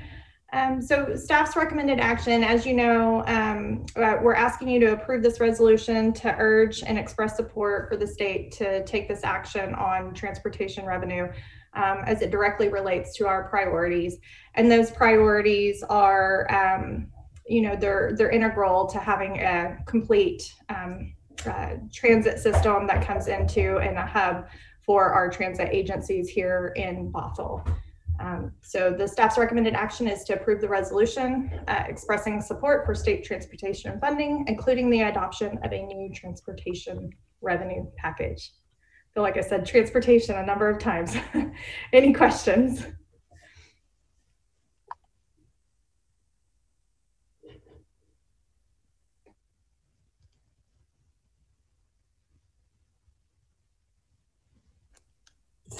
Uh, there we go. Councilmember Duerr. Uh, I wanted to ask the city attorney if I should abstain since you're lobbying the uh, legislature. All right, go ahead. Just wondering if I should abstain. Um, I, I can't say yes or no whether or not you should. If you, um, there would not be a problem if you were to abstain. Um, I- I'll just abstain for clarity. Okay. That's all good. Yeah. Thanks. Councilmember Agnew. Uh, Well, then I was just going to say that we approve the resolution expressing support for state transportation funding, including the adoption of a new transportation revenue package. Councilmember McAuliffe. Second. All right. Thank you. So we have a motion by Councilmember Agnew with a second by Councilmember McAuliffe. Any discussion on the item? Seeing none, City Clerk? Please say yes or no when I call your name. Deputy Mayor Zornes, Yes. Councilmember Thompson, Yes. Councilmember McAuliffe, Yes. Councilmember McNeal, Yes. Mayor Olsen, Yes. Councilmember Duerr, I'll abstain. and Councilmember Agnew. Yes. Passes six zero one with Councilmember Duerr abstaining. All right, thank you. And thank you, uh, Kellye, for that presentation and uh, so quick. All right, on to AB 21 038. Consideration of plan and code amendments to the capital facilities element in Imagine Bothell, the compre- comprehensive plan and establishing minimum density and intensity within North Creek, Northeast 195th Street Activity Center. And I saw uh, Director Kattermann come on here, so I will turn it over to him. Uh, Thank you, Mayor Olsen. Good evening, and good evening, Deputy Mayor and members of the council. Uh, I feel like a bad penny this evening. You just can't seem to get rid of me. But fortunately, I think this is the last item I have on the agenda tonight. Uh, And I'm going to introduce Nathan Lamb, our uh, new senior planner, whom you've met previously. Nathan's going to pick up where uh, Bruce Blackburn left off with this about 15 months ago when the council was initially prepared to adopt the 2019 amendments. So uh, Nathan is going to walk you through what those are, what's changed since that time, uh, and explain the so the thinking behind that. Uh, as I mentioned, this is something that you have seen before. So uh, with that, um, and I, I will note that there is no public hearing on this item. Uh, this there was a public hearing held previously, so we're not needing to hold a public hearing this evening. So with that, Nathan, I will turn it over to you, and I think you have a brief presentation to share with the council. Thank you. I do. Uh, Mayor, Deputy Mayor, and uh, Council, good to see you again. Attempt to share my screen. No, this Presentation.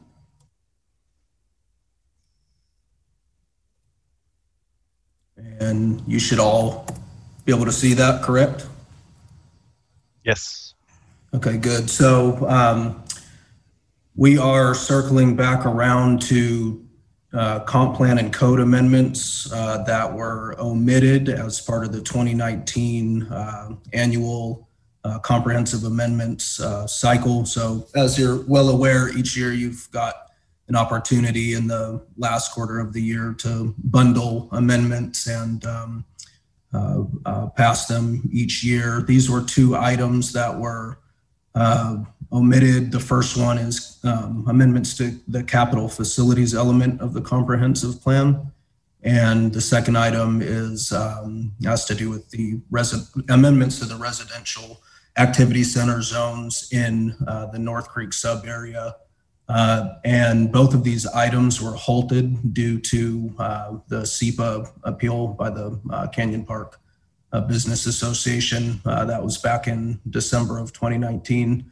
Uh, I do want to um, clarify that we're only going to be for in terms of the second item, RAC zones. We're only we're only talking about the North Creek sub area. This th- that won't have anything to do with Canyon Park because when you adopted the Canyon Park uh, sub area plan, it sort of um, voided uh, amendments that were similar and, and coupled to what we'll talk about tonight. So uh, as um, Mike mentioned, the public hearing was closed after being continued uh, several times uh, in February of last year. And uh, as I understand it, you all had made a, adopted some, some language to Title 11 that enables you to visit, uh, revisit these items as long as you considered uh, these as part of the annual amendment cycle. You can um, come back to them in subsequent years. And so you're well within your authority to do so. Uh, so just to talk a little bit more specifically about the items, uh, the, the first one, um, the, the language in the, the policy language in the capital facilities element needs to be updated to reflect uh, the fire stations 42 in downtown Bothell and, and 45 in Canyon Park, the, the rebuild. of both of those. Uh, and then the second item uh, will be um, discussing minimum densities and intensities in the North Creek uh, Activity Center. Uh, so for the fire station rebuilds, uh, you may recall back in November 2018, uh, there were some voter approved bonds for safety upgrades, uh, technical modernization, and uh, some energy efficiency upgrades uh, for both of those stations. And this is already included and reflected in your 21 22 budget. So we're not proposing any or asking you to consider uh, anything to do with the budget. Um, but it, this is important this month because as of April 1, uh, we will be increasing um, fire impact fees. And so we need to um, make sure our language is consistent uh, with, with imposing those new fees. Uh, so moving on to um, the minimum densities and intensities, I, as I understand it, you guys have um, discussed FAR at, at great length and back in the early 2000s, the, the city established uh, activity centers and residential activity center zones in which the basic ideas that you're trying to accommodate the, you know, the our share of uh, population growth and concentrate it in centers. Um, what was happening was there was a down. So the whole the the catch though was is that we there was no prescribed density. And so what was happening was is developments were coming in and they were coming in below the threshold of, of that range that we are trying to stick within um, in terms of accommodating growth for, for housing units and, and jobs and activity centers. And obviously, if you've got the capacity for more density, you don't want to undershoot that number because you have to make up for it somewhere else. So what we're proposing is uh, 35 dwelling units per acre um, uh, uh for residential buildings. For uh, non-residential buildings, a minimum floor area ratio of 0.50. Uh, and then where there are mixed use buildings, um, where we are either asking you to consider, excuse me, where both of these options are tied together. So they could they could either go for a FAR of one, or they could meet one of the thresholds um, and make up for the balance or fill in the balance option we're calling it. So if they meet 35 dwelling units per acre in the residential portion of the development, then staff can use its discretion to uh, work with the applicant uh, on the remainder of the non-residential uh, portion and vice versa. Uh, and then finally, before we get to our uh, recommend, recommendation for tonight, so uh, you all should have received an email. Um, there's some minor, just clerical errors that are in the ordinance that we wanted to go over. They're um, just sort of typos. Uh, the first one was an example in the ordinance for how to calculate FAR. Uh, there's just one number we're changing from 4,000 to 5,000. The example is if you have a 10,000 square foot lot and a minimum FAR of 0.5, then the building area must be 5,000 square feet. Uh, the second one is uh, related to an outdated map. Um, and we would like to nix that, just take it out entirely and probably update it and bring it back later this year uh, as part of some housekeeping amendments. Uh, but it's we just would like to remove it to avoid confusion. Uh, and the last item was just some language that was related to that um, to that figure. So uh, all of that can basically be summed up in this um, the under the underline here. Whoops. Uh, which is to adopt the ordinance with the amendments uh, recommended by staff. And I can be on standby if you have any questions. Thanks.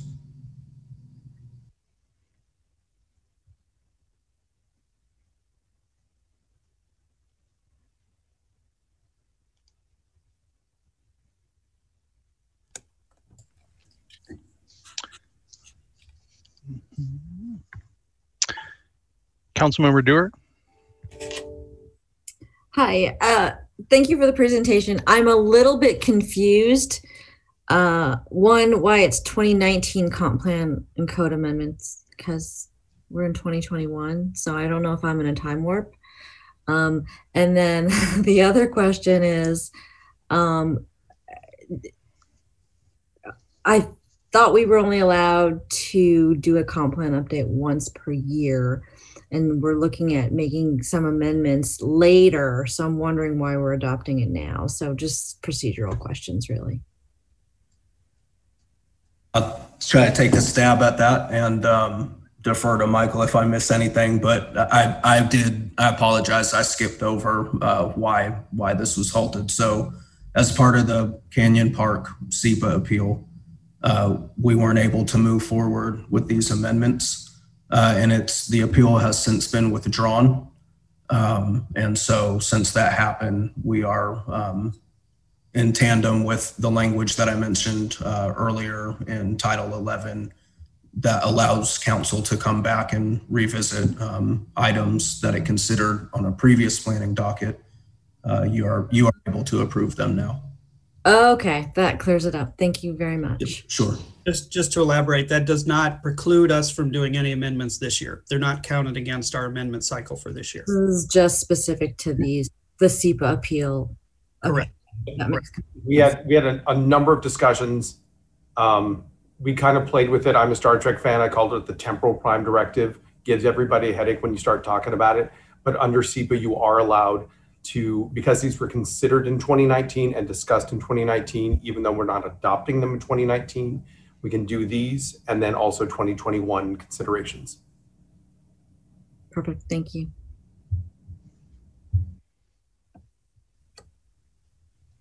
Deputy Mayor Zornes. Uh, just a couple quick clarifying questions. First of all, Nathan, thank you. Glad for your first official report here. Um, and very well done. Uh, uh, it's not germane to passing this. It's more, it's more of a point of curiosity. If someone was to, to use the FAR transference, do they save, is it a cost saving in construction as far as foundation costs? for someone who's you know going for height and a smaller base Yeah. Um, if let me just make sure I understand the question. So you're referring to the option where um, if they can't, if they where they want to do a mixed use building and they need to meet one threshold or the other, and they're i think so. I thought i thought the point of far was to give people uh, options on on the shape of their building as long as they met met the requirements.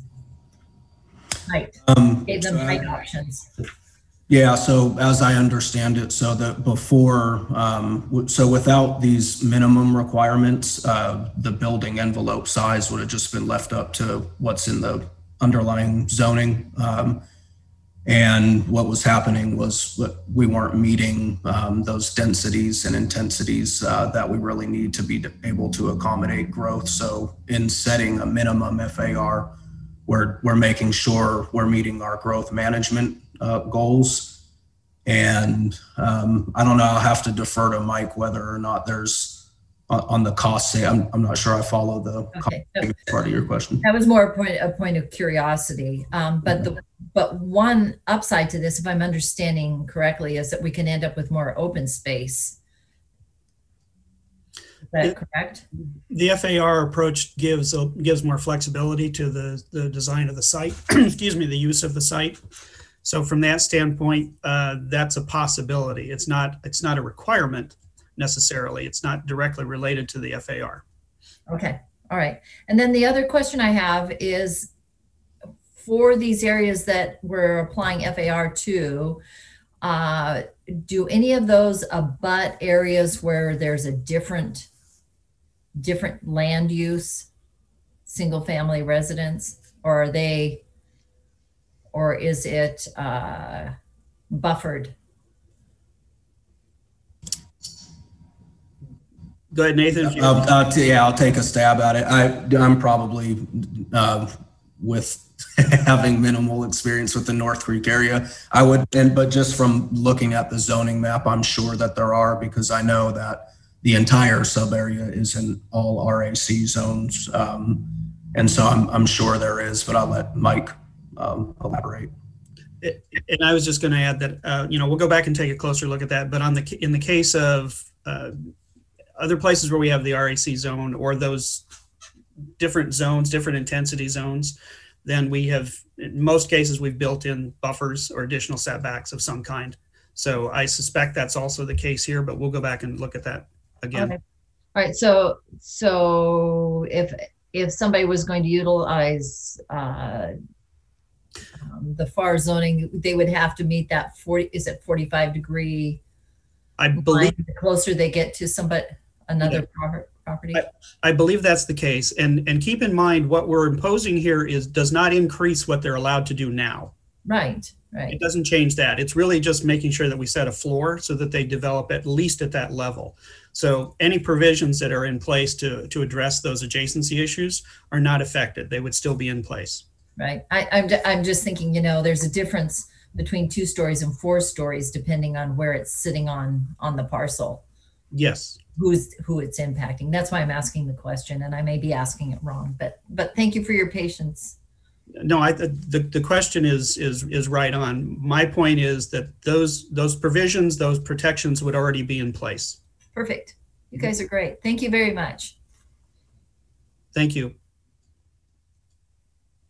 Councilmember Duerr, I move the recommended action. Councilmember Thompson, I'll second.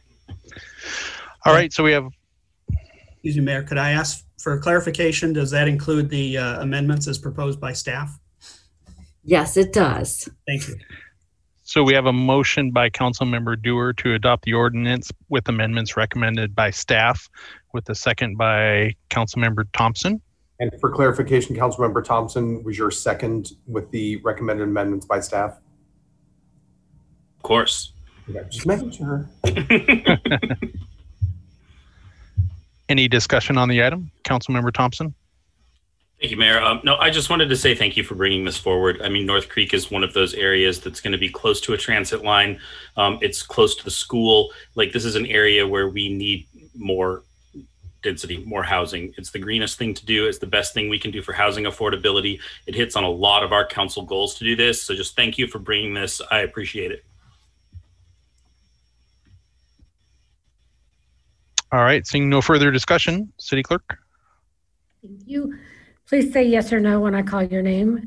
Uh, Deputy Mayor Zornes, Yes. Councilmember Thompson, Yes. Councilmember McAuliffe, Yes.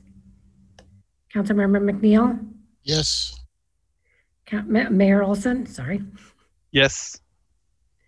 Councilmember Duerr, Yes. Councilmember Agnew. Yes. Passes seven zero. Thank you. Thank you. All right, on to AB 21-039, consideration of approval of a pop-up retail incubator program. Uh, So I will start off with interim city manager Aaron Leonhardt and economic development manager Jeannie Ash. So I will just introduce uh, Economic Development Manager Jeannie Ash to do a presentation for you. Good evening, Council. Um, It's a pleasure to see you all, and thank you for your time. Um, I want to share my screen with you. And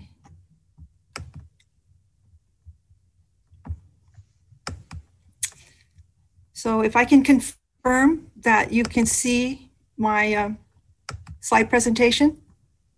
Yes, I can. Thank you. Appreciate that. So, um, once again, thank you, uh, Mr. Mayor and Council. It's a pleasure to be here. For the record, my name is Jeannie Ash, and I'm the Economic Development Manager for the City of Bothell. And I am here to present to you a uh, program for uh, Bothell's p- pop-up retail incubators. And this evening, I'll be asking for your support and input on this program, as well as um, authorizing the interim um, city manager uh, uh, to sign the associated documents for this. So we have an opportunity here in um, the city of Bothell to create equitable and diverse businesses generate more foot traffic for the downtown sub area, boost the sales for the area's existing businesses, and generate more tourism, as well as create a pipeline of new resilient retail businesses through a pop-up retail program. Um, what is a pop-up retail program? Well, this particular program, it has two major elements. One is the infrastructure side of it, and the other side is the program side of it. So what you're seeing here in this image is a um, is an example of what a pop-up retail might look like. This particular these particular sheds are in uh, Michigan or Wisconsin. Oh, someone correct me if they know the answer. Um, so the infrastructure side is uh, prefab sheds converted into usable retail space. We'll buy four sheds, cluster them together, and create a critical mass of interest and foot traffic. They'll also to generate revenue for the city. This particular shed that you're seeing here is what you might find is a typical of what you might find in a shopping mall. So the program side of the retail incubator is um, is an incubator it, to remove barriers to starting a business. I think you all know how difficult it is to start a business, and uh, what we want to do is uh, support small businesses by providing them the infrastructure and providing them access to microfinancing and um, and mentorship. I think you know that. I mean, two of the major roadblocks to starting a business is the financing as well as the educational component. This particular uh, uh, group of sheds that you're looking at here are in a small town in Pennsylvania. Uh, this community actually had a commercial lot that they tried to sell for 10 years. When they couldn't sell it, they cleaned it up and put these retail sheds on it. And um, this is the result. So the um, participants who we are targeting, who we want to be a part of this program, will be home-based retail businesses with a plan to expand. Expand. I don't know if you realize it, but we have almost 300 licensed home-based businesses in the city of Bothell, and I'm sure we can find some uh, participants who want to go brick and mortar in there. Or we want to find uh, a first-time retail business owner with a great idea this incubator program will provide an opportunity for people to learn about the market, improve their business skills, and generate sales. I also, too, want to say that this program will be inclusive and diverse. We'll be um, we'll be looking for participants um, who are women or um, minorities. So, in exchange for the infrastructure and for the programming, uh, tenants will agree to enter into a concession agreement with the city of Bothell, and in lieu of rent, they will pay 10% of their gross revenue. They agree to create a placemaking environment around their shop. And what that means is I want them to have some skin in the game. I want them to keep their shops looking uh, attractive. And the placemaking could be either uh, plants or benches. Um, they must commit to regular business hours create and maintain a marketing plan and have an exit strategy. So um, incubators have a really bad reputation for being nothing more than uh, someplace for businesses to have cheap rent. So by having an exit strategy, what we're doing is we're we're preparing these businesses to go out and launch them into bricks and mortar. My hope is is that we can run this program for a minimum of two years for this first group of businesses. So this cannot be done um, alone. This is a very, very collaborative effort. And my partners in this project are the Port of Seattle, who will uh, provide an economic development grant to secure the services of Mercy Corps Northwest and, and pay for the infrastructure in part. City of Bothell, of course, is a project manager, uh, property owner, and we'll be supporting this project with permitting and inspections. Mercy Corps Northwest will be provide technical support, um, mentorship, and access to microfinancing. And this construction association to be determined is um, I am looking for volunteers. I've been having conversations in the community and working on getting commitments to find people who help me do the site planning as well as put these sheds together. They are prefab, but they might need some construction.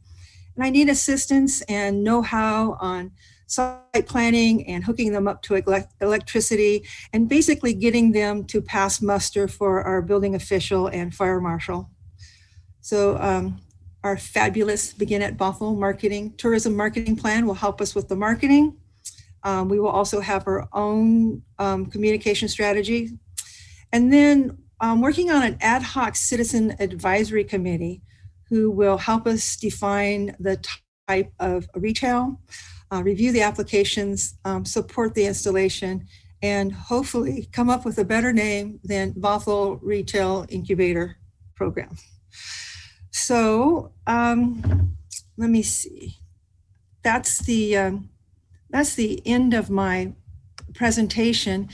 Um, you know, in the partnership with Mercy Corps Northwest, um, I worked really hard in finding a, a partner who can provide services in microfinancing. And I have to tell you that I'm super, super um, excited that Mercy Corps Northwest agreed to enter into an, um, a partnership with us. And Lynn Rankin, who is the um, the uh, executive director for Mercy Corps North, Northwest, is on the line. And Lynn, there, there she is. I would like to for her to introduce herself and tell you more about her program and who's going to be working with our local businesses. Uh, good evening, everyone. Thanks, Jeannie. Thanks for um, having me here tonight. Um, my name is Lynn Rankin. I'm the executive director of Mercy Corps Northwest. We are a nonprofit organization based in Portland. Um, at Mercy Corps Northwest, we support small businesses with financing and education and support. Um, we support under resourced communities. We've been operating in Oregon and Washington for 20 plus years. We have a 25 person staff um, with people based in Portland, the Seattle area, and also in Walla Walla. And just a little bit about um, Mercy Corps Northwest. I know it's late, um, but but basically we operate a, a three-legged stool. We we provide uh, small business education and one-on-one counseling to entrepreneurs, to small business owners um, on issues around legal, brand and marketing. Um, we have classes and then we also have counseling or we refer people to different classes. Um, we have a matched savings grants program. Um, and then we're an alternative lender. We, we provide loans of $500 to $50,000. We have a, a line of credit from the SBA that we we on lend and assume the risk for and then we also have another um, we also have another fund for ITIN holders uh, under $5,000. And then during COVID, we worked with cities like the city of Bothell um, and counties to, to disperse uh, 4.6 million in total in emergency grants to support hard hit small businesses to help keep them open um, and, and, to pivot their businesses. We did this in in the Puget Sound area. We did it in Portland. We've done it in Vancouver, Clark County, the Walla Walla, and the Tri Cities. We also are working with our um, client base right now to defer loan payments and then provide loans um, uh, to those who need them.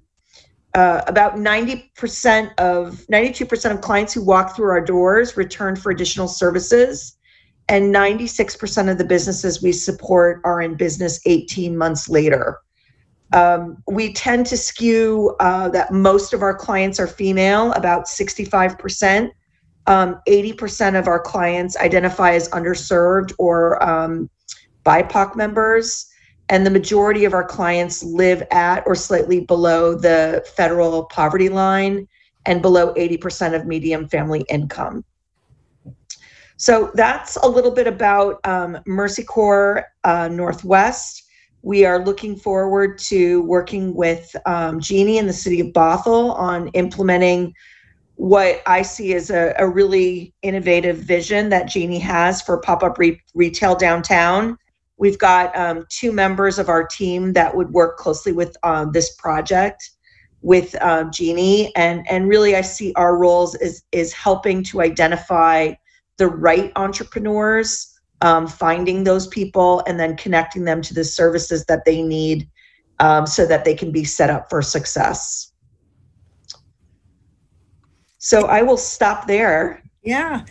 So again, um, I'm super excited to have a partner like Mercy Corps who um, is going to help us identify the right clients and help them be successful. Um, this is all about this is this has so many uh, positives i think. It's a way for us to activate continue to activate the downtown sub area to create new businesses but also to to help it um, come out of recovery covid recovery and help our businesses be more resilient. Because these these businesses located at city hall will create foot traffic for the rest of our businesses. So with that i will end and i am happy to answer any questions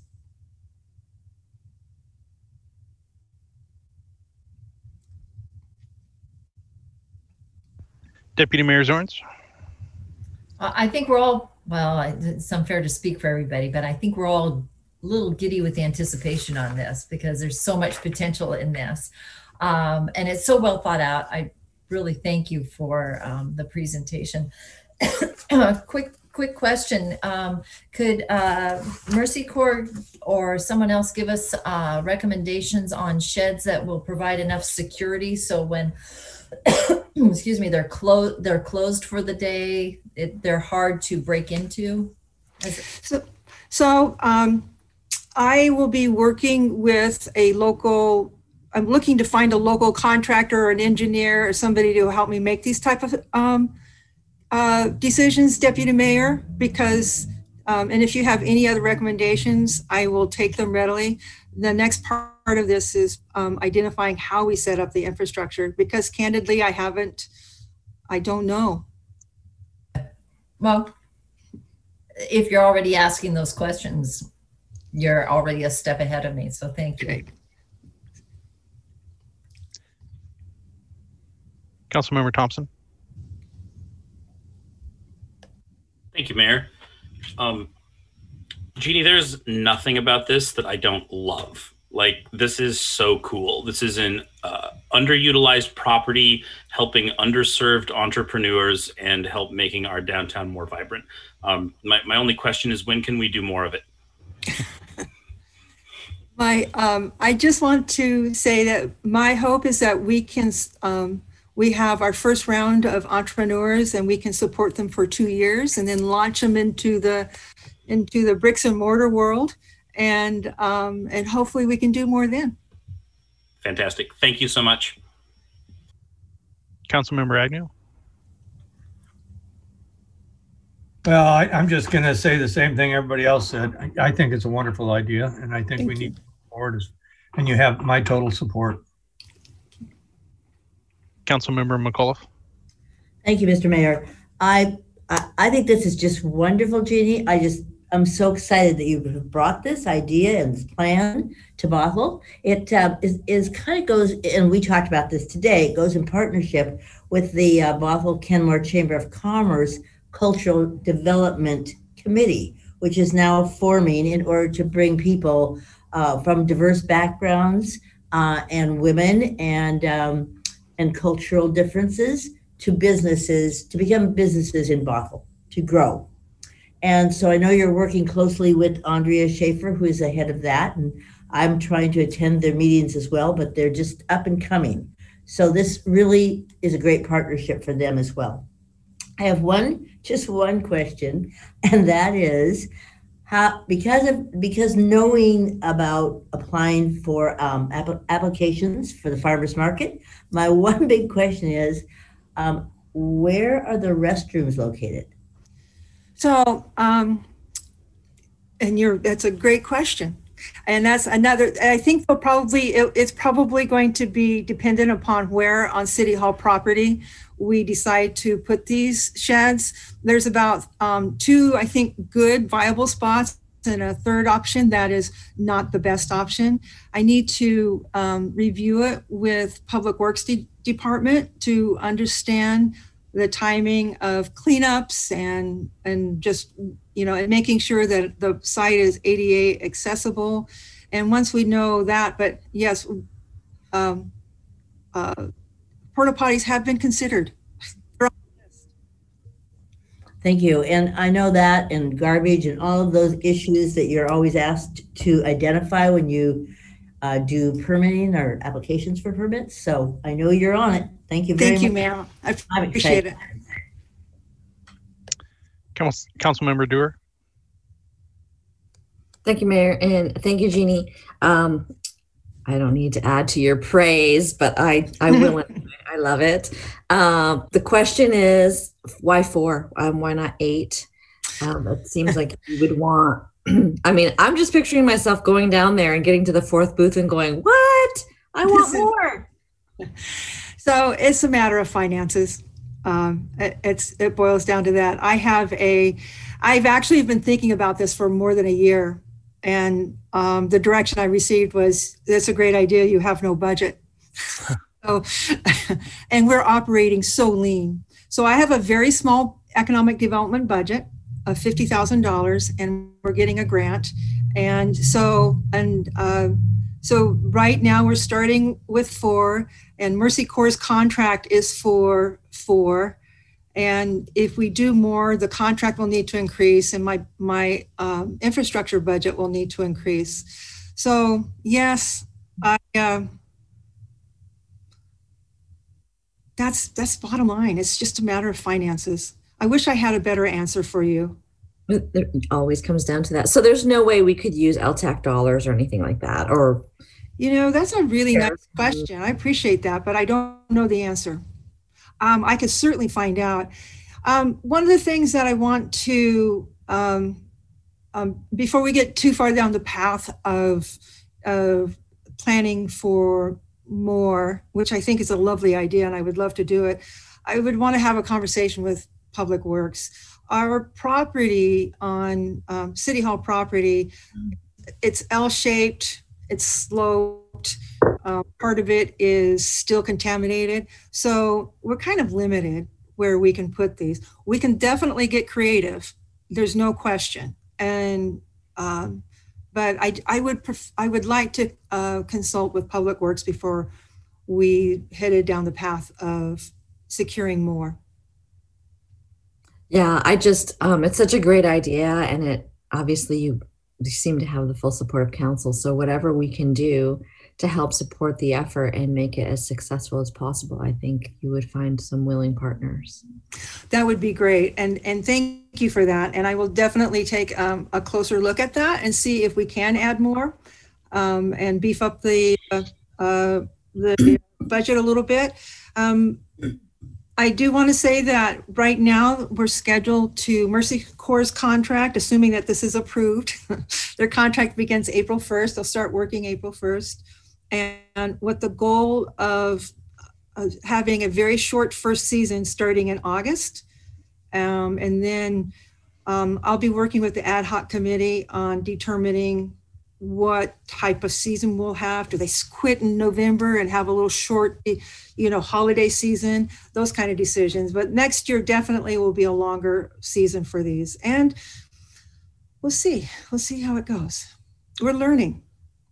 Awesome. I, well, I was going to make a motion, but I, I think I'm going to second Tom's because I saw his hand go up.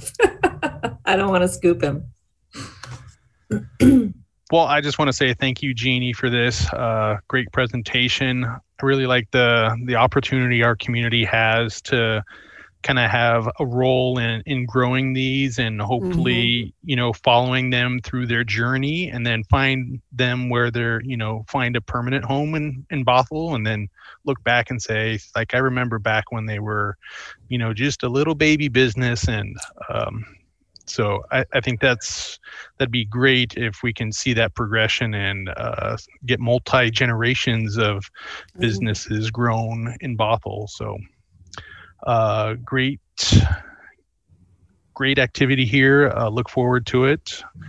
Uh, I saw Councilmember Agnew's card, and then I saw Councilmember Thompson's already. So, I- I Councilmember. We should uh, start building the next Starbucks here in Bothell. But I think we first have to move the recommended action. Thank you, Tom. Uh, Councilmember Thompson. Uh, I will. Um, I will second that, and I'm not supposed to say anything else here, am I? Not yet. Okay. All right, so we have a motion by Councilmember Agnew. Uh, let's see. Choo-choo. Uh, to approve the pop-up retail incubator program and authorize the interim city manager to sign the Port of Seattle Economic Development Partnership Grant in the amount of $29,730 and the Mercy Corps Northwest PSA in the amount of $15,000 with the second by Councilmember Thompson. Any discussion? Councilmember Thompson.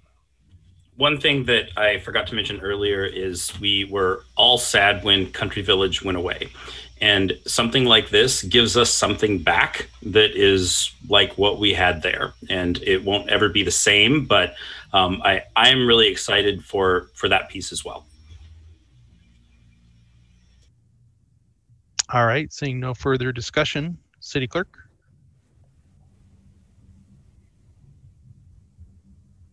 You're on mute. Sorry. Uh, Please say yes or no when I call your name.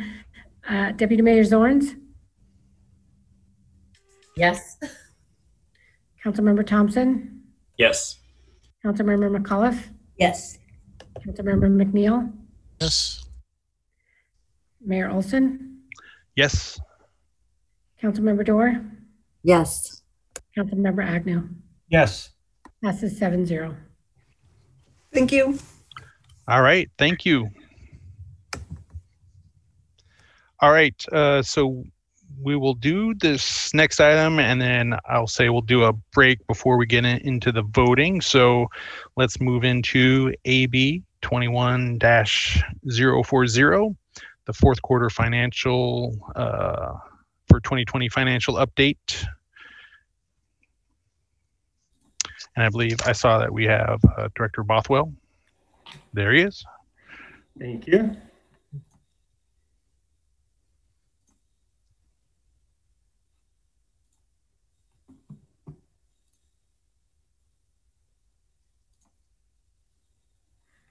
All right, so this is your fourth quarter 2020 financial update.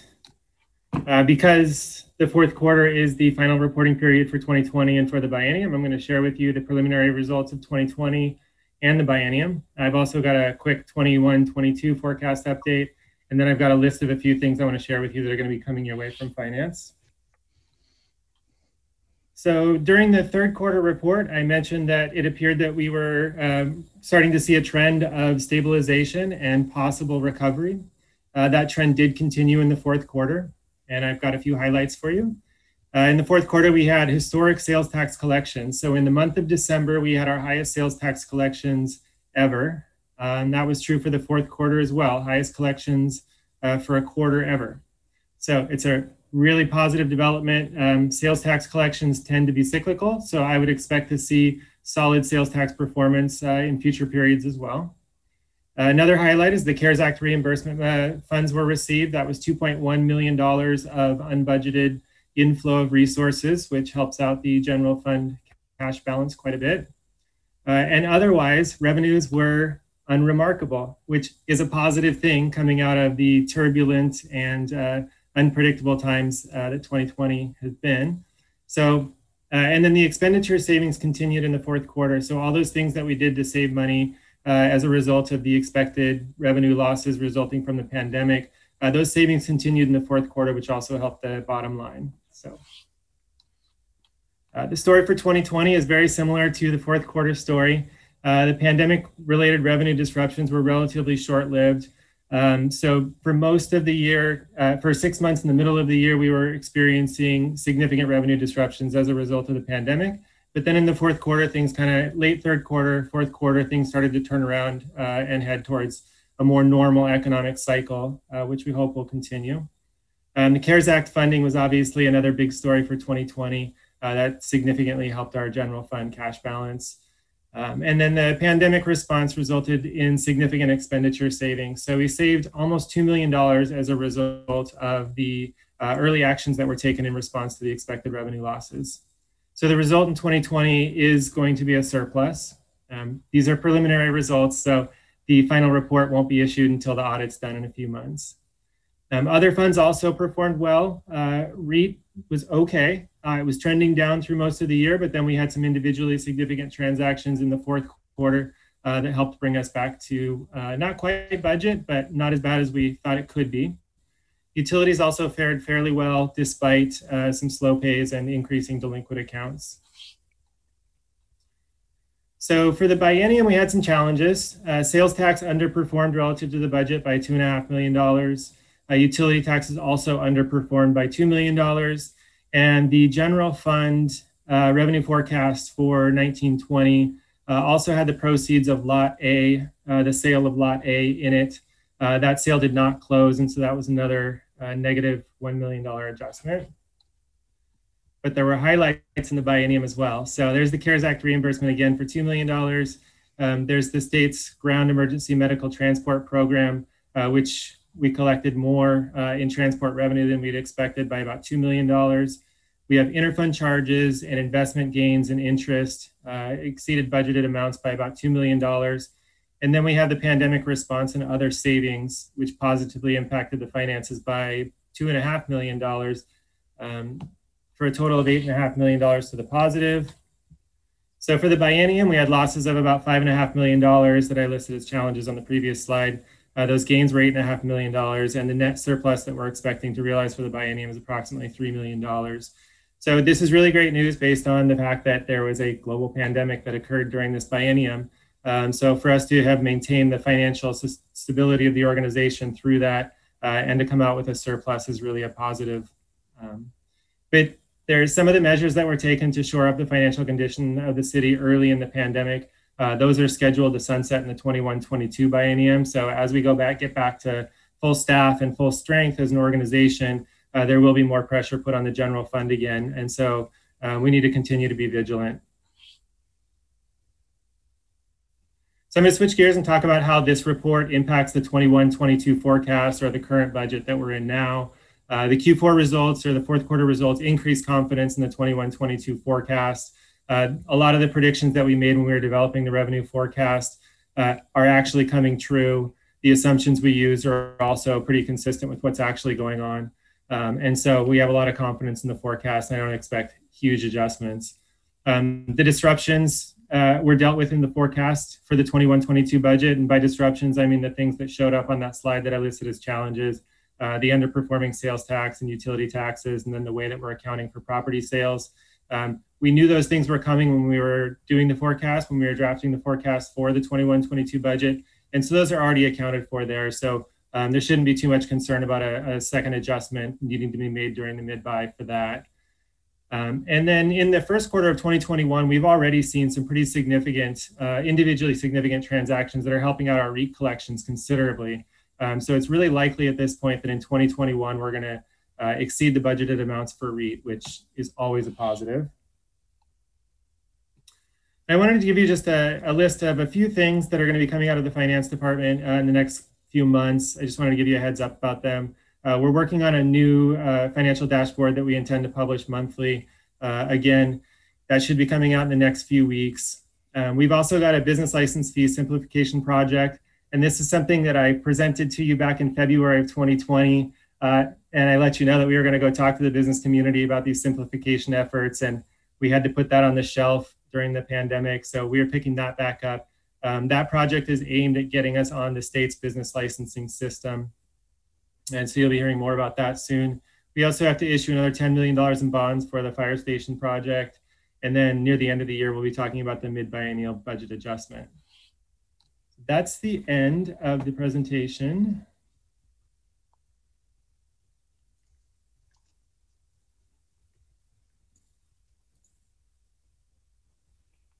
As always, I'm happy to take any questions.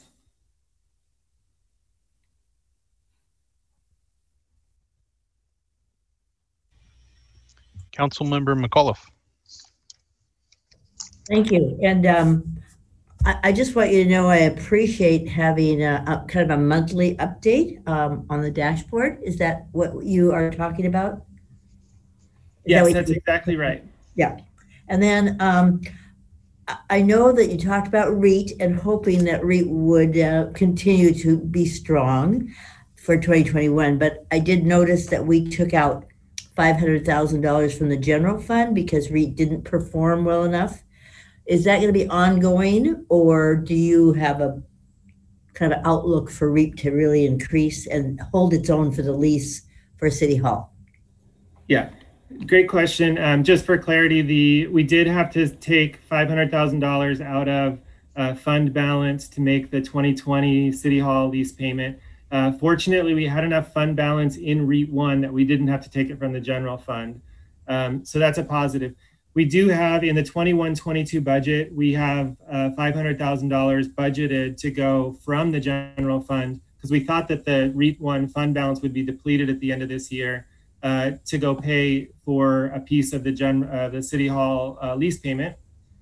And based on, so I think during the mid buy, this will be something we'll be talking about because based on collections of um, that are from these individually significant property transactions, it looks like we won't need that uh, $500,000 from the general fund in 2021, and we'll see how things are looking in 2022. Um, but it is going to be a continuing concern as we the lease payment is frequently higher than we get in REET one collections, which is the only source that we can really use to make that lease payment. Um, so it it's something you're likely to continue to hear about. Thank you.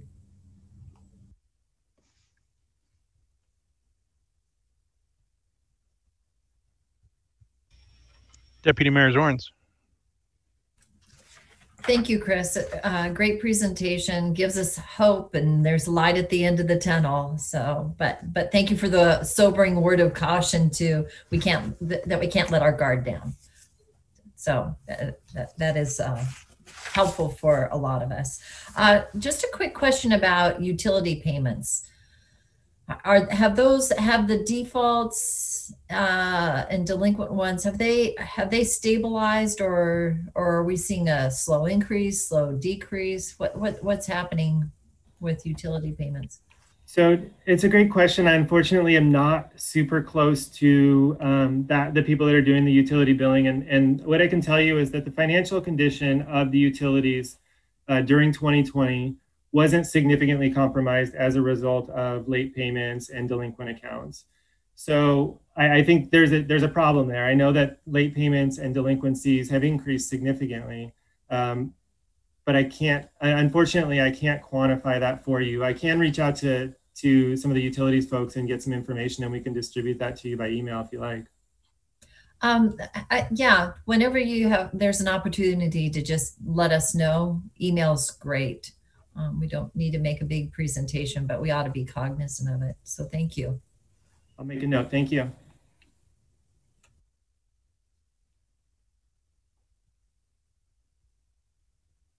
Councilmember Thompson. Thank you for the presentation, Director Bothwell. And I just want to say that, like, considering where the conversation was, you know, six, eight, nine months ago, um, this is refreshing so, and we still have a structural deficit. We still have all these things that we have that are challenges. Um, but is anybody else thinking like, can we find fifty thousand dollars more for Jeannie to put more pop-up buildings after this? Anyway, I, I kind of felt like that would come back to me since I was presenting right after. yeah. um, I will say that that we're going to be looking. You know, there's a, a lot of money coming out of the with the the most recent uh, the name escapes me, but the most recent relief bill. That's going to be there's going to be some money coming our way and stuff. And I think we will try to get creative. I mean, there's a lot of budget was the one that Jeannie brought up, but there's a lot of other considerations. So uh, I'll do my best to make sure that she gets the resources she needs to support that. Thank you.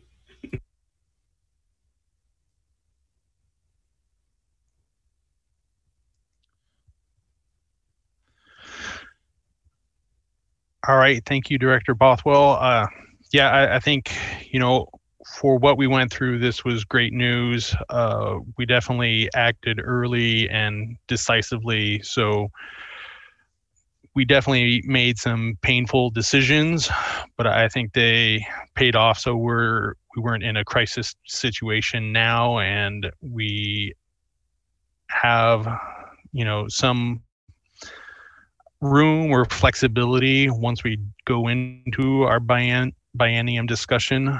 Um, but yeah, as you mentioned, since we did do uh, so many actions uh, and measures that do have uh, some that they will be sunsetting, that we will have to look at this and as other mentioned, uh, we do have our structural deficit and continue have to be mindful of it. But but I, I think overall this was great news that um, that we weathered you know the storm and hopefully it's it's continuing to blow past us and we can hopefully get back on a, a, a great trajectory here.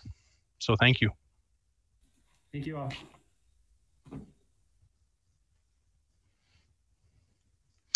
All right. Well, I we have our board and commission voting next, but let's take a, a five minute break before we get into that. Uh, so let's be back at uh, 902.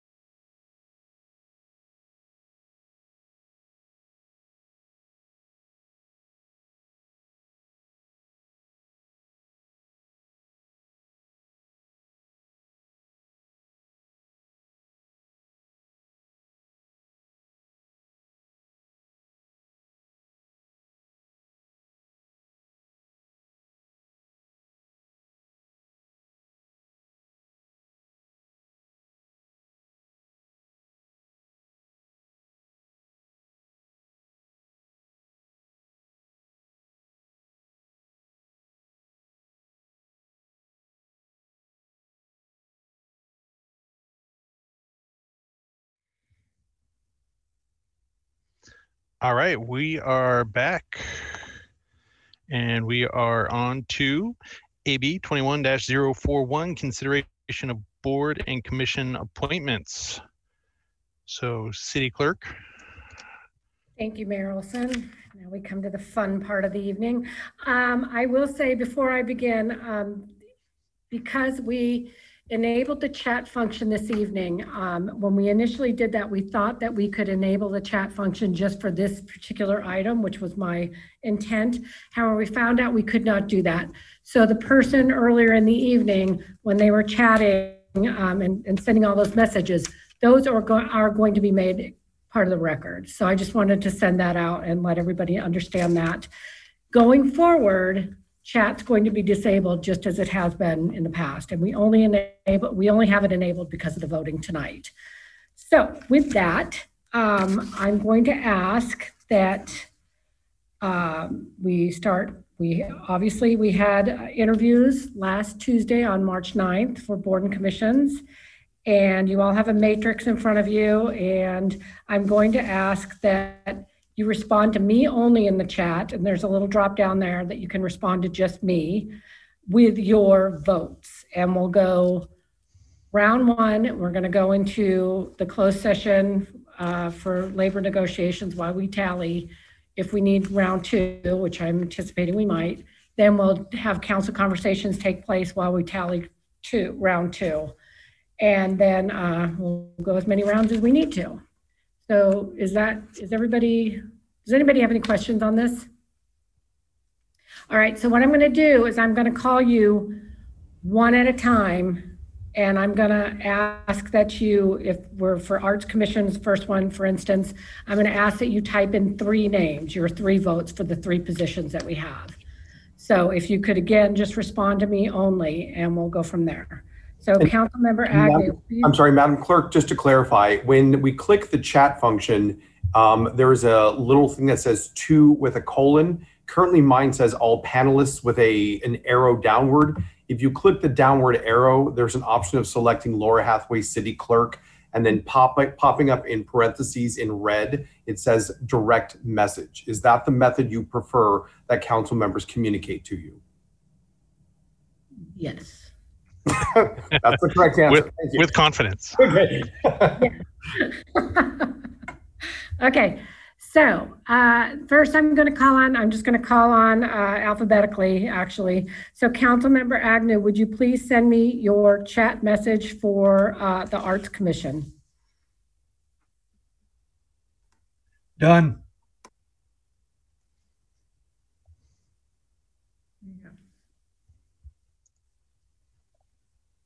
All right. Oop. Okay, hold on. I'm, I- Councilmember McNeal, I'm gonna, I'm gonna call on everybody individually, but since you. I said- apologize. I was trying to clean it up Okay. and it didn't I'm work gonna, properly. so we'll take you out of order because you already sent your vote, so that's good, that's fine. Thank you. Um, okay, next is Councilmember Duerr, if you'd please send your three votes for, thank you.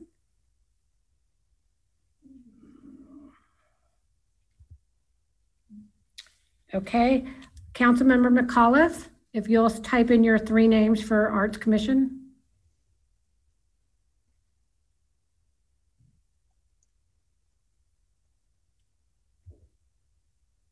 Done.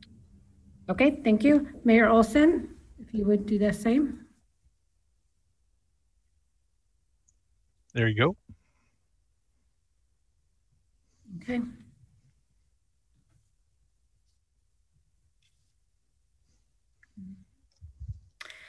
Uh, Councilmember Thompson, you would please type in your three.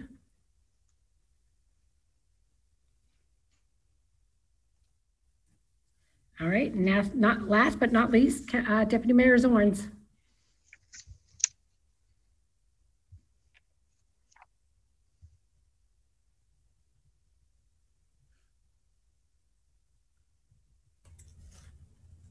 You should get it. The blessings of being at the end of Got it, Thank you. All right, so, let's see.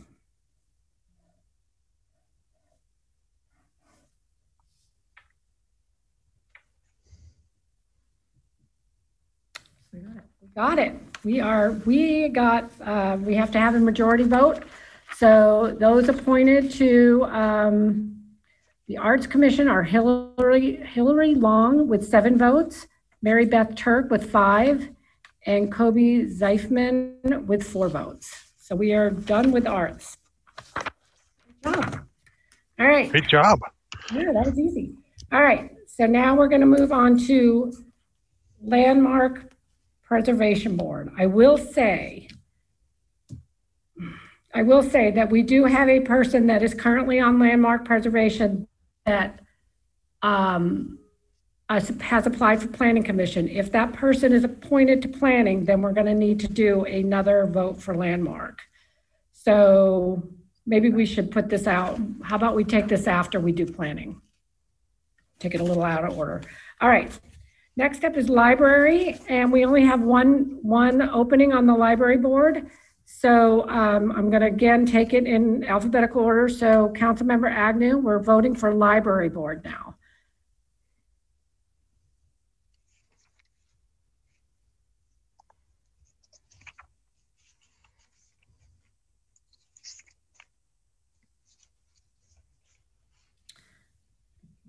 Okay. uh,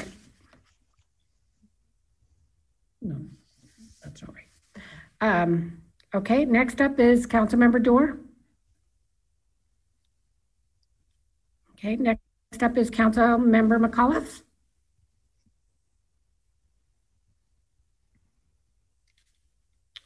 Next up, we have Councilmember McNeal.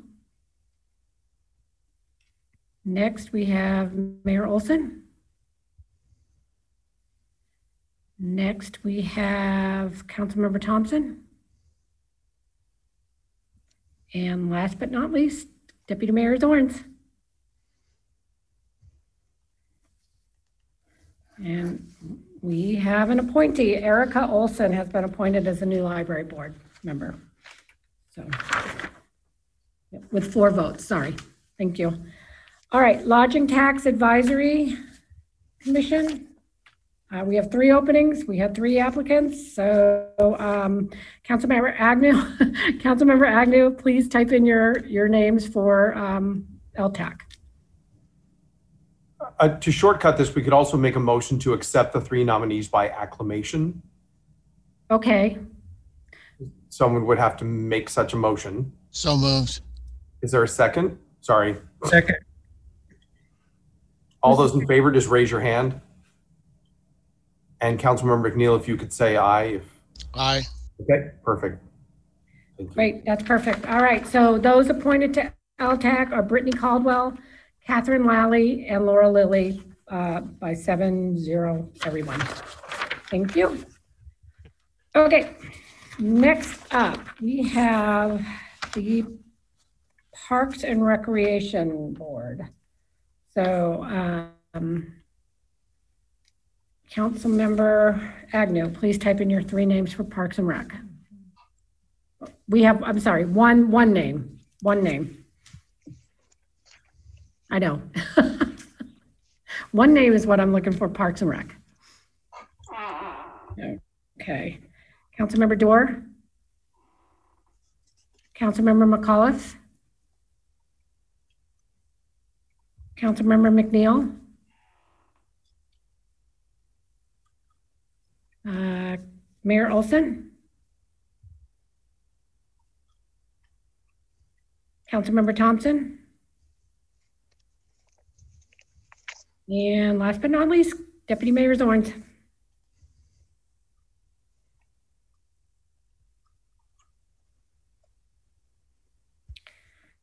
Okay, so we did not get a, we did not get a majority vote on any of them, uh, any of the applicants, so we'll come back for round two on uh, Parks and Rec. Okay. Next, we have Planning Commission. Quite a few names here, quite a few applicants. We are looking for two, two votes. So I'll start with Councilmember Agnew.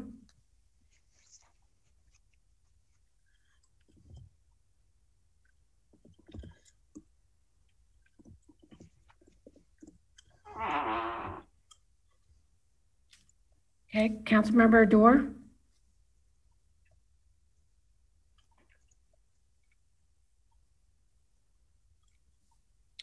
Councilmember McAuliffe?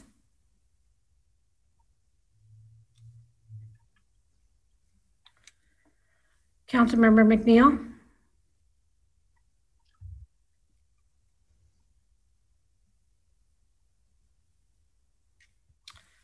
Mayor Olsen?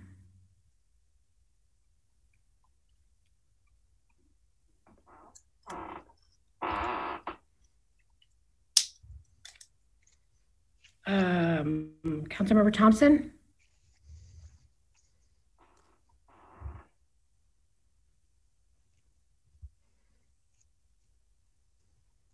Okay.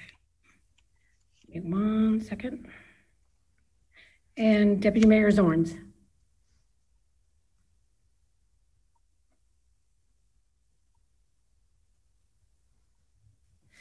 Okay. So uh, Kerry Westerbeck has been appointed. He received um, six votes. And the others, uh, we'll have to go round two. So please, when we go to round two, we'll take Kerry Westerbeck off the list. And um, everybody else is up for grabs.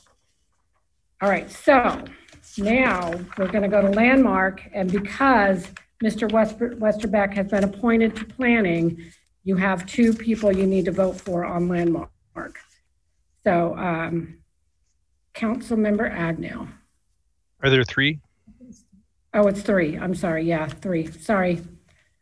Three people for um, landmark.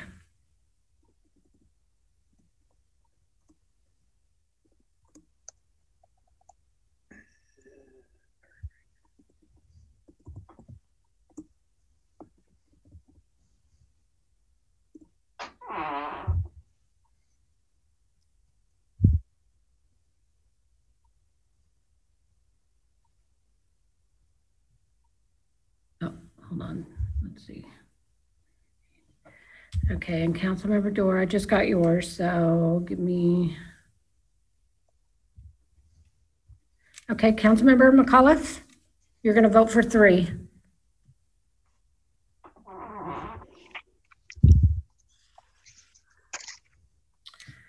Councilmember McNeal?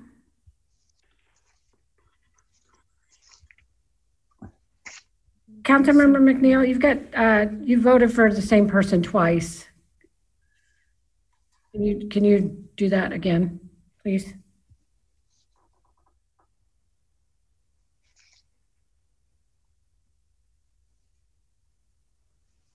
Great, thank you. Mayor Olsen?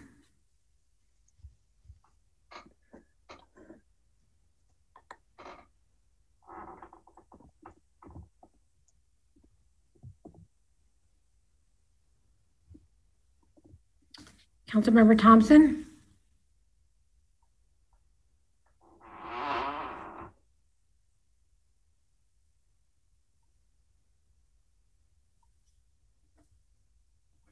And Deputy Mayor Zornes?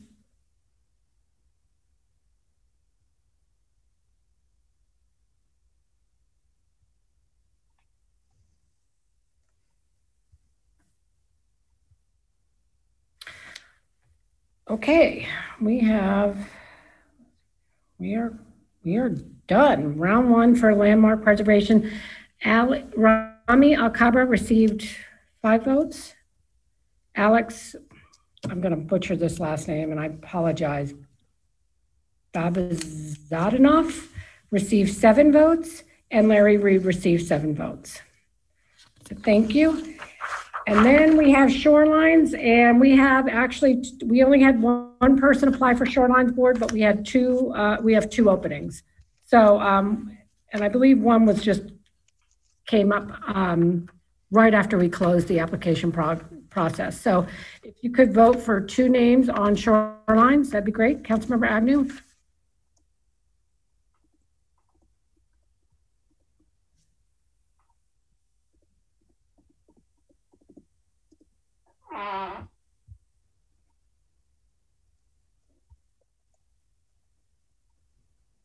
Okay, Deputy Mayor, or Councilmember Duerr?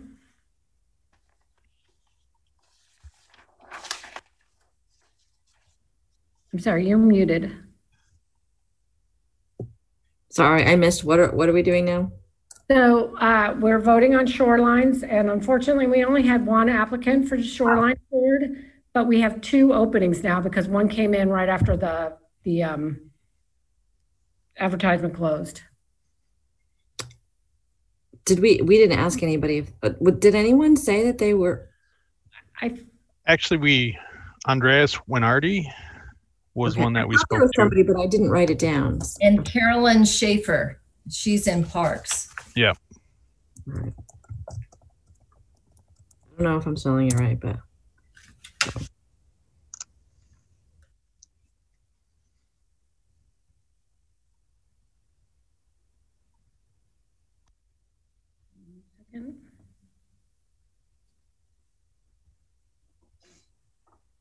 Okay, Councilmember McAuliffe?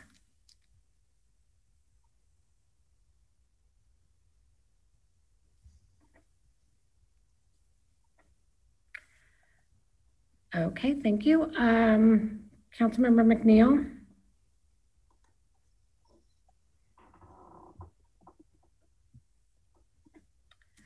Uh, thank you. Mayor Olsen?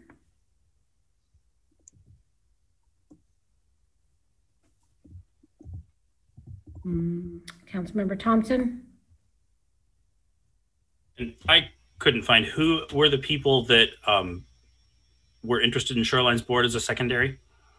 Carolyn Schaefer and I think um, Andreas. He is Winardi, Menard. Landmark Preservation Board.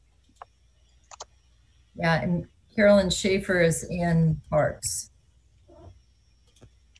Do you want me, do you want to go to me and then come back to Mason? Please. Okay.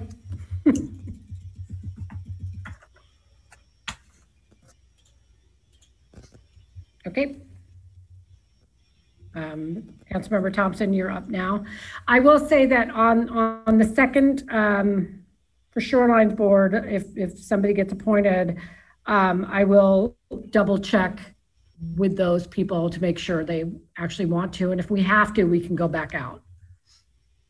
Okay. So Councilmember Thompson, did you vote on your names yet? Finally. There you go. Okay. All right. Um, okay, so. Right. Suzanne Burnell has been appointed. She got six votes. And, and Carolyn Schaefer has five. And again, I will double check with Ms. Schaefer to make sure that she's, she's willing and willing to participate. So um, that is done. So I don't know, Mayor Olsen, do you want to go back to round two for planning and parks, or do you want to go into the, Let's, let's keep the momentum. This is going a lot faster than anyone thought. anticipated? I'm very excited. Okay. I know, I know, I just jinxed it. Sorry. That's okay. Um, so we'll go planning first. Again, please do not vote for Mr. Westerbeck. He received six votes last time. So you can take him off your list. Um, and we'll go, now we're going for planning commission. Please vote for one. One. So I'll start with. Oh. Okay, hold on one second.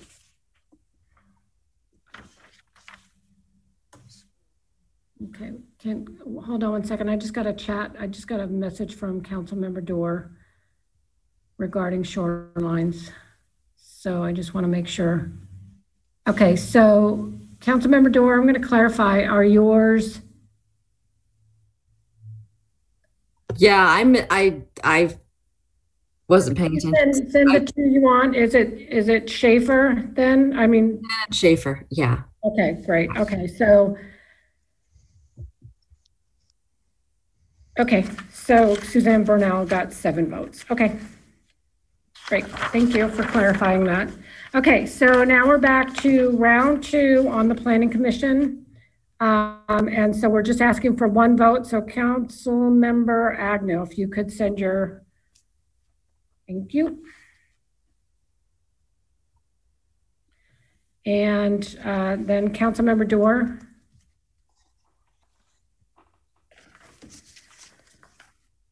Uh, Councilmember McAuliffe.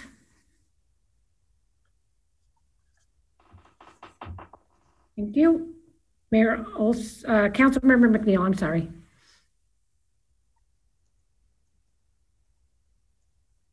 Thank you. Mayor Olsen.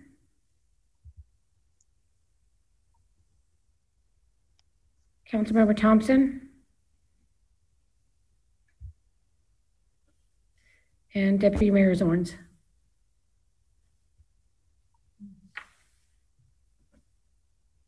Okay, we'll have to go round three on that one. We did not get a majority vote again. What's that? Oh, yeah, I can tell you, what I can tell you is that uh, Tynan Gable, Gable got two votes. Uh, Claire Robson got three. Stephen St. Louis got one, and Daphne Taylor got one.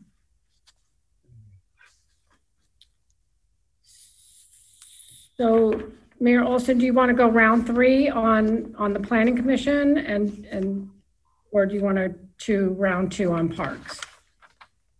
Uh, let's do planning commission.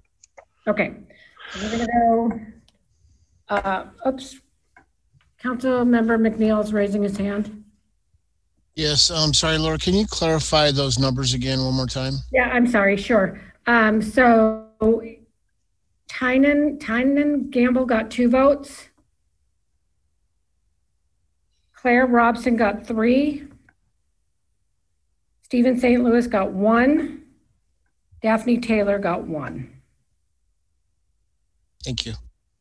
Thank you. All right, are we ready to go round three on planning? Okay. Okay, so Councilmember Agnew, you've gone. And Councilmember Duerr, can you?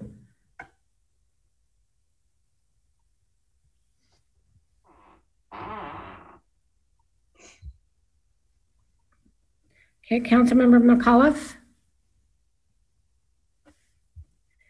Thank you. Councilmember McNeal?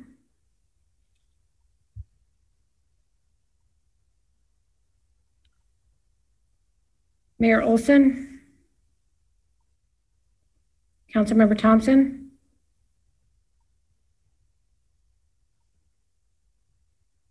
Deputy Mayor Zornes?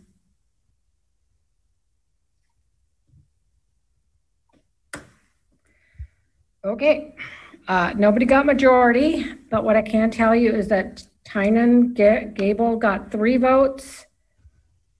Claire Robson got three votes and Stephen St. Louis got one vote. So we'll have to go a fourth round on that. Do you want to, do you want to do that now? Yeah, we're so close. Okay. Okay, so again, those, those, Favor, can you give it, can you give us just a second to digest? Yep. Okay, like, start the clock, one minute or something. okay, again, uh, Tynan Gable got three votes, Claire Robson got three, and Stephen St. Louis got one. So if we can do round four, that'd be great. Uh, Councilmember, hold on, uh, Agnew, wait, Councilmember Agnew, did you just vote just now? Yes. Okay. Um, all right, and Councilmember Duerr. And next up, I have Councilmember McAuliffe. Then we have Councilmember McNeal.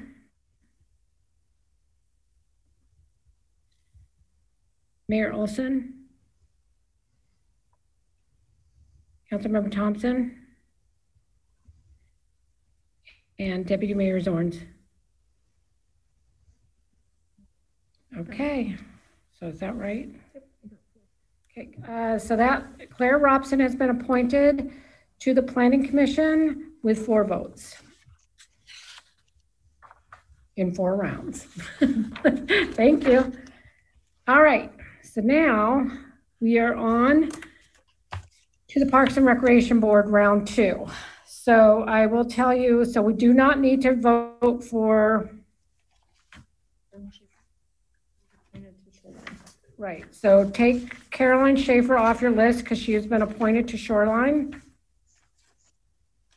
And move Trish Villanova. Excuse me one second. The four votes. Four. Yeah. Um,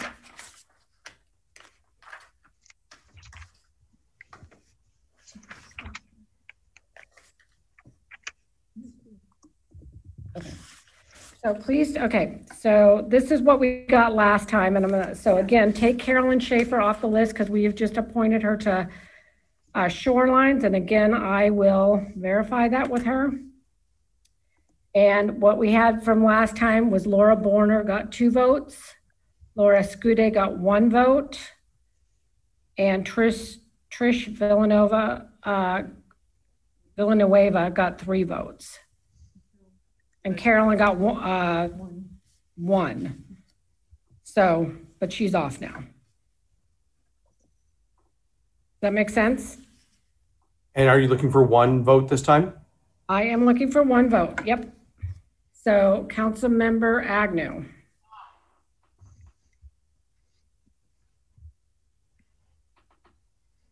All right, thank you. Councilmember Duerr? Councilmember McAuliffe? Councilmember McNeal? Mayor Olsen? Councilmember Thompson? Deputy Mayor Zornes? Great, we got four votes uh, for Laura Borner to the Parks and Recreation Board. So now what I need is a motion. Thank you very much. That was great. Um, Now what I need is a motion to ratify those votes. Councilmember Duerr, I motion that we ratify those votes. Councilmember Thompson. Second. All right, so we have a motion by Councilmember Duerr with a second by Councilmember Thompson. Any discussion? Seeing none, City Clerk? Great, thank you. Uh, Please say yes or no when I call your name. Deputy Mayor Zornes? Yes. Councilmember Thompson? Yes. Councilmember McAuliffe? Yes. Councilmember McNeal? Yes. Mayor Olsen? Yes. Councilmember Duerr? Yes. Councilmember Agnew? Yes. Passes seven zero. Thank you very much. Um, I will, we will be reaching out. We will notify all the applicants whether they were appointed or not. And, um, and I will double check on Ms. Schaefer for the Shorelines Board and we are done. That went way faster than I anticipated. Thank you. Yeah, paper ballots. Whew. Uh, all right. Uh, well, so we have our closed session uh, for our next item uh, regarding labor negotiations pursuant to RCW 42.30.140, parent 4, parent A. And let's see, it's approximately expected to be approximately 30 minutes with no action, and we will return to this meeting.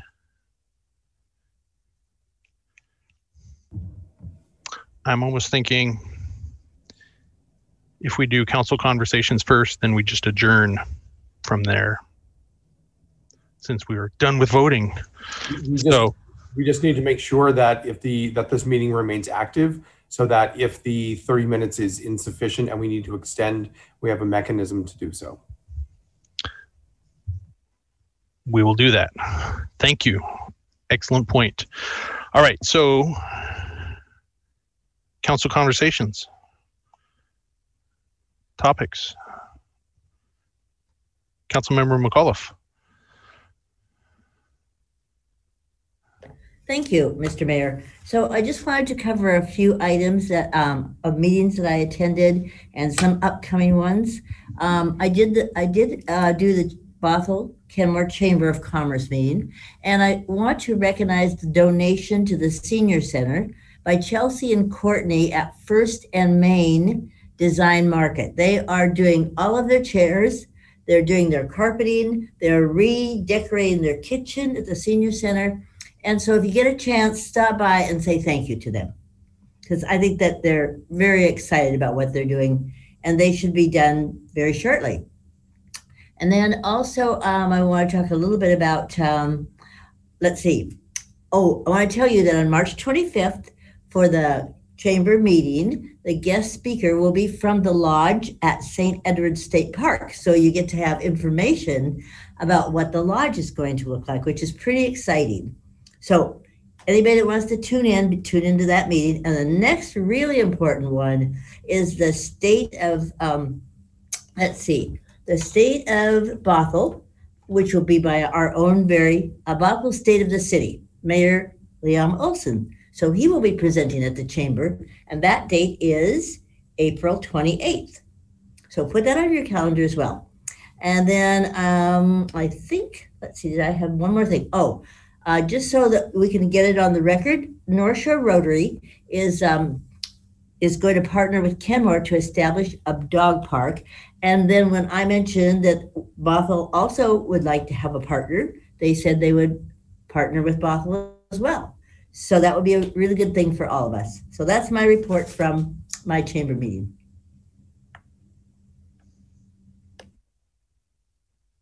Great, thank you.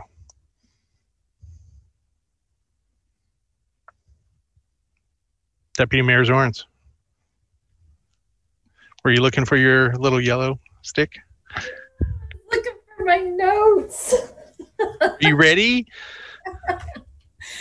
Well, I- I really don't have much except to thank the fire department for the great uh, little uh, annual report that's sitting in our boxes. That was fun to go through and see our former neighbor, who we still consider our neighbor, uh, D'Amico Rogers, as uh, the the firefighter of the year. That was fun to see. But well, I don't have. Oh, two two quick things.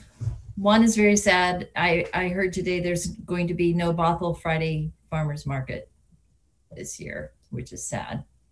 Um, but then also for those of us who love airplanes, just for fun, it's not in our city, but we're neighbors, right? And so we're good neighbors. Is uh, Kenmore is celebrating 75 years, and they're going to have a big uh, celebration the end of summer. So if you're into airplanes, keep an eye out for that.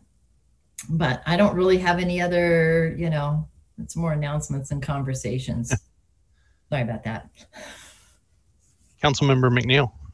Thank you, Mayor. Yeah, just uh, I wanted to bring up the Best Starts for Kids uh, levy again. Um, a lot of conversation going around regionally about the the levy, um, and I just want to draw everybody's attention to the the presentation that uh, that I forwarded on uh, and how important this is right now with youth homelessness and the other things that are happening with our young people across the region. Uh, it's important that we pay attention.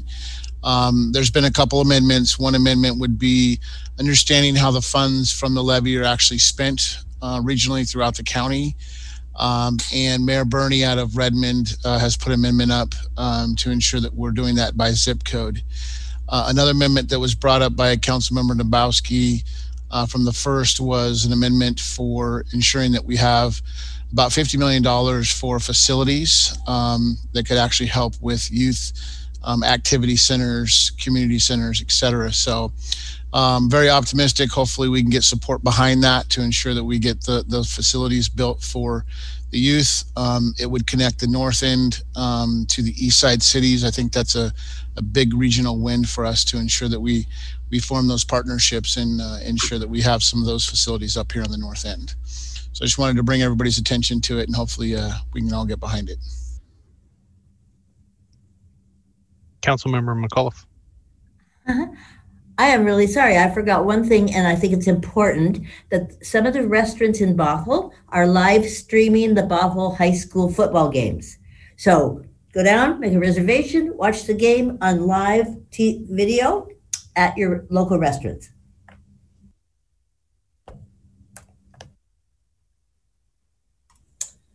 Yeah, and Bothell had a phenomenal win last uh, weekend, didn't they? It was huge. I, I stopped watching. So I don't know the end score, but I'm sure it wasn't pretty.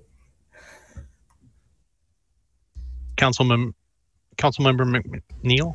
Yeah, I'd re- be remiss if I didn't bring up the fact that lacrosse season has just started, and we have a lot of uh, girls and boy lacrosse players out there. Thank you to the city of Bothell for getting the fields open for us, so that we can we can get those kids out and active. It has been amazing to see the the spirit um, and see those kids out being active. So, uh, hats off to the city of Bothell for for helping the lacrosse programs get out, be active.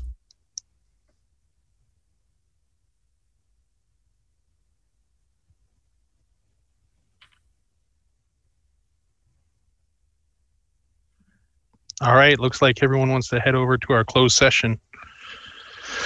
All right, so I'll I'll say this uh, again. So we have a closed session regarding labor negotiations pursuant to RCW 42.30.140, parent four, parent A, uh, and we expect it to appro- take approximately 30 minutes with no action expected. So we will adjourn from there, and we will keep this meeting running in case we need to extend. Thank you. All right, see you over there.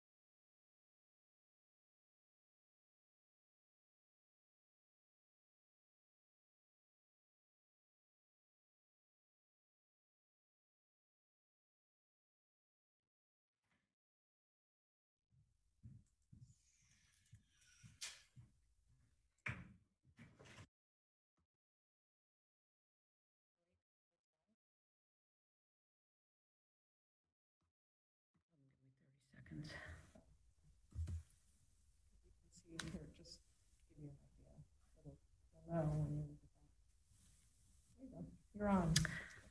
Um, Mayor Olsen just announced that the meeting is going to be extended another 10 minutes to 10:12. Thank you.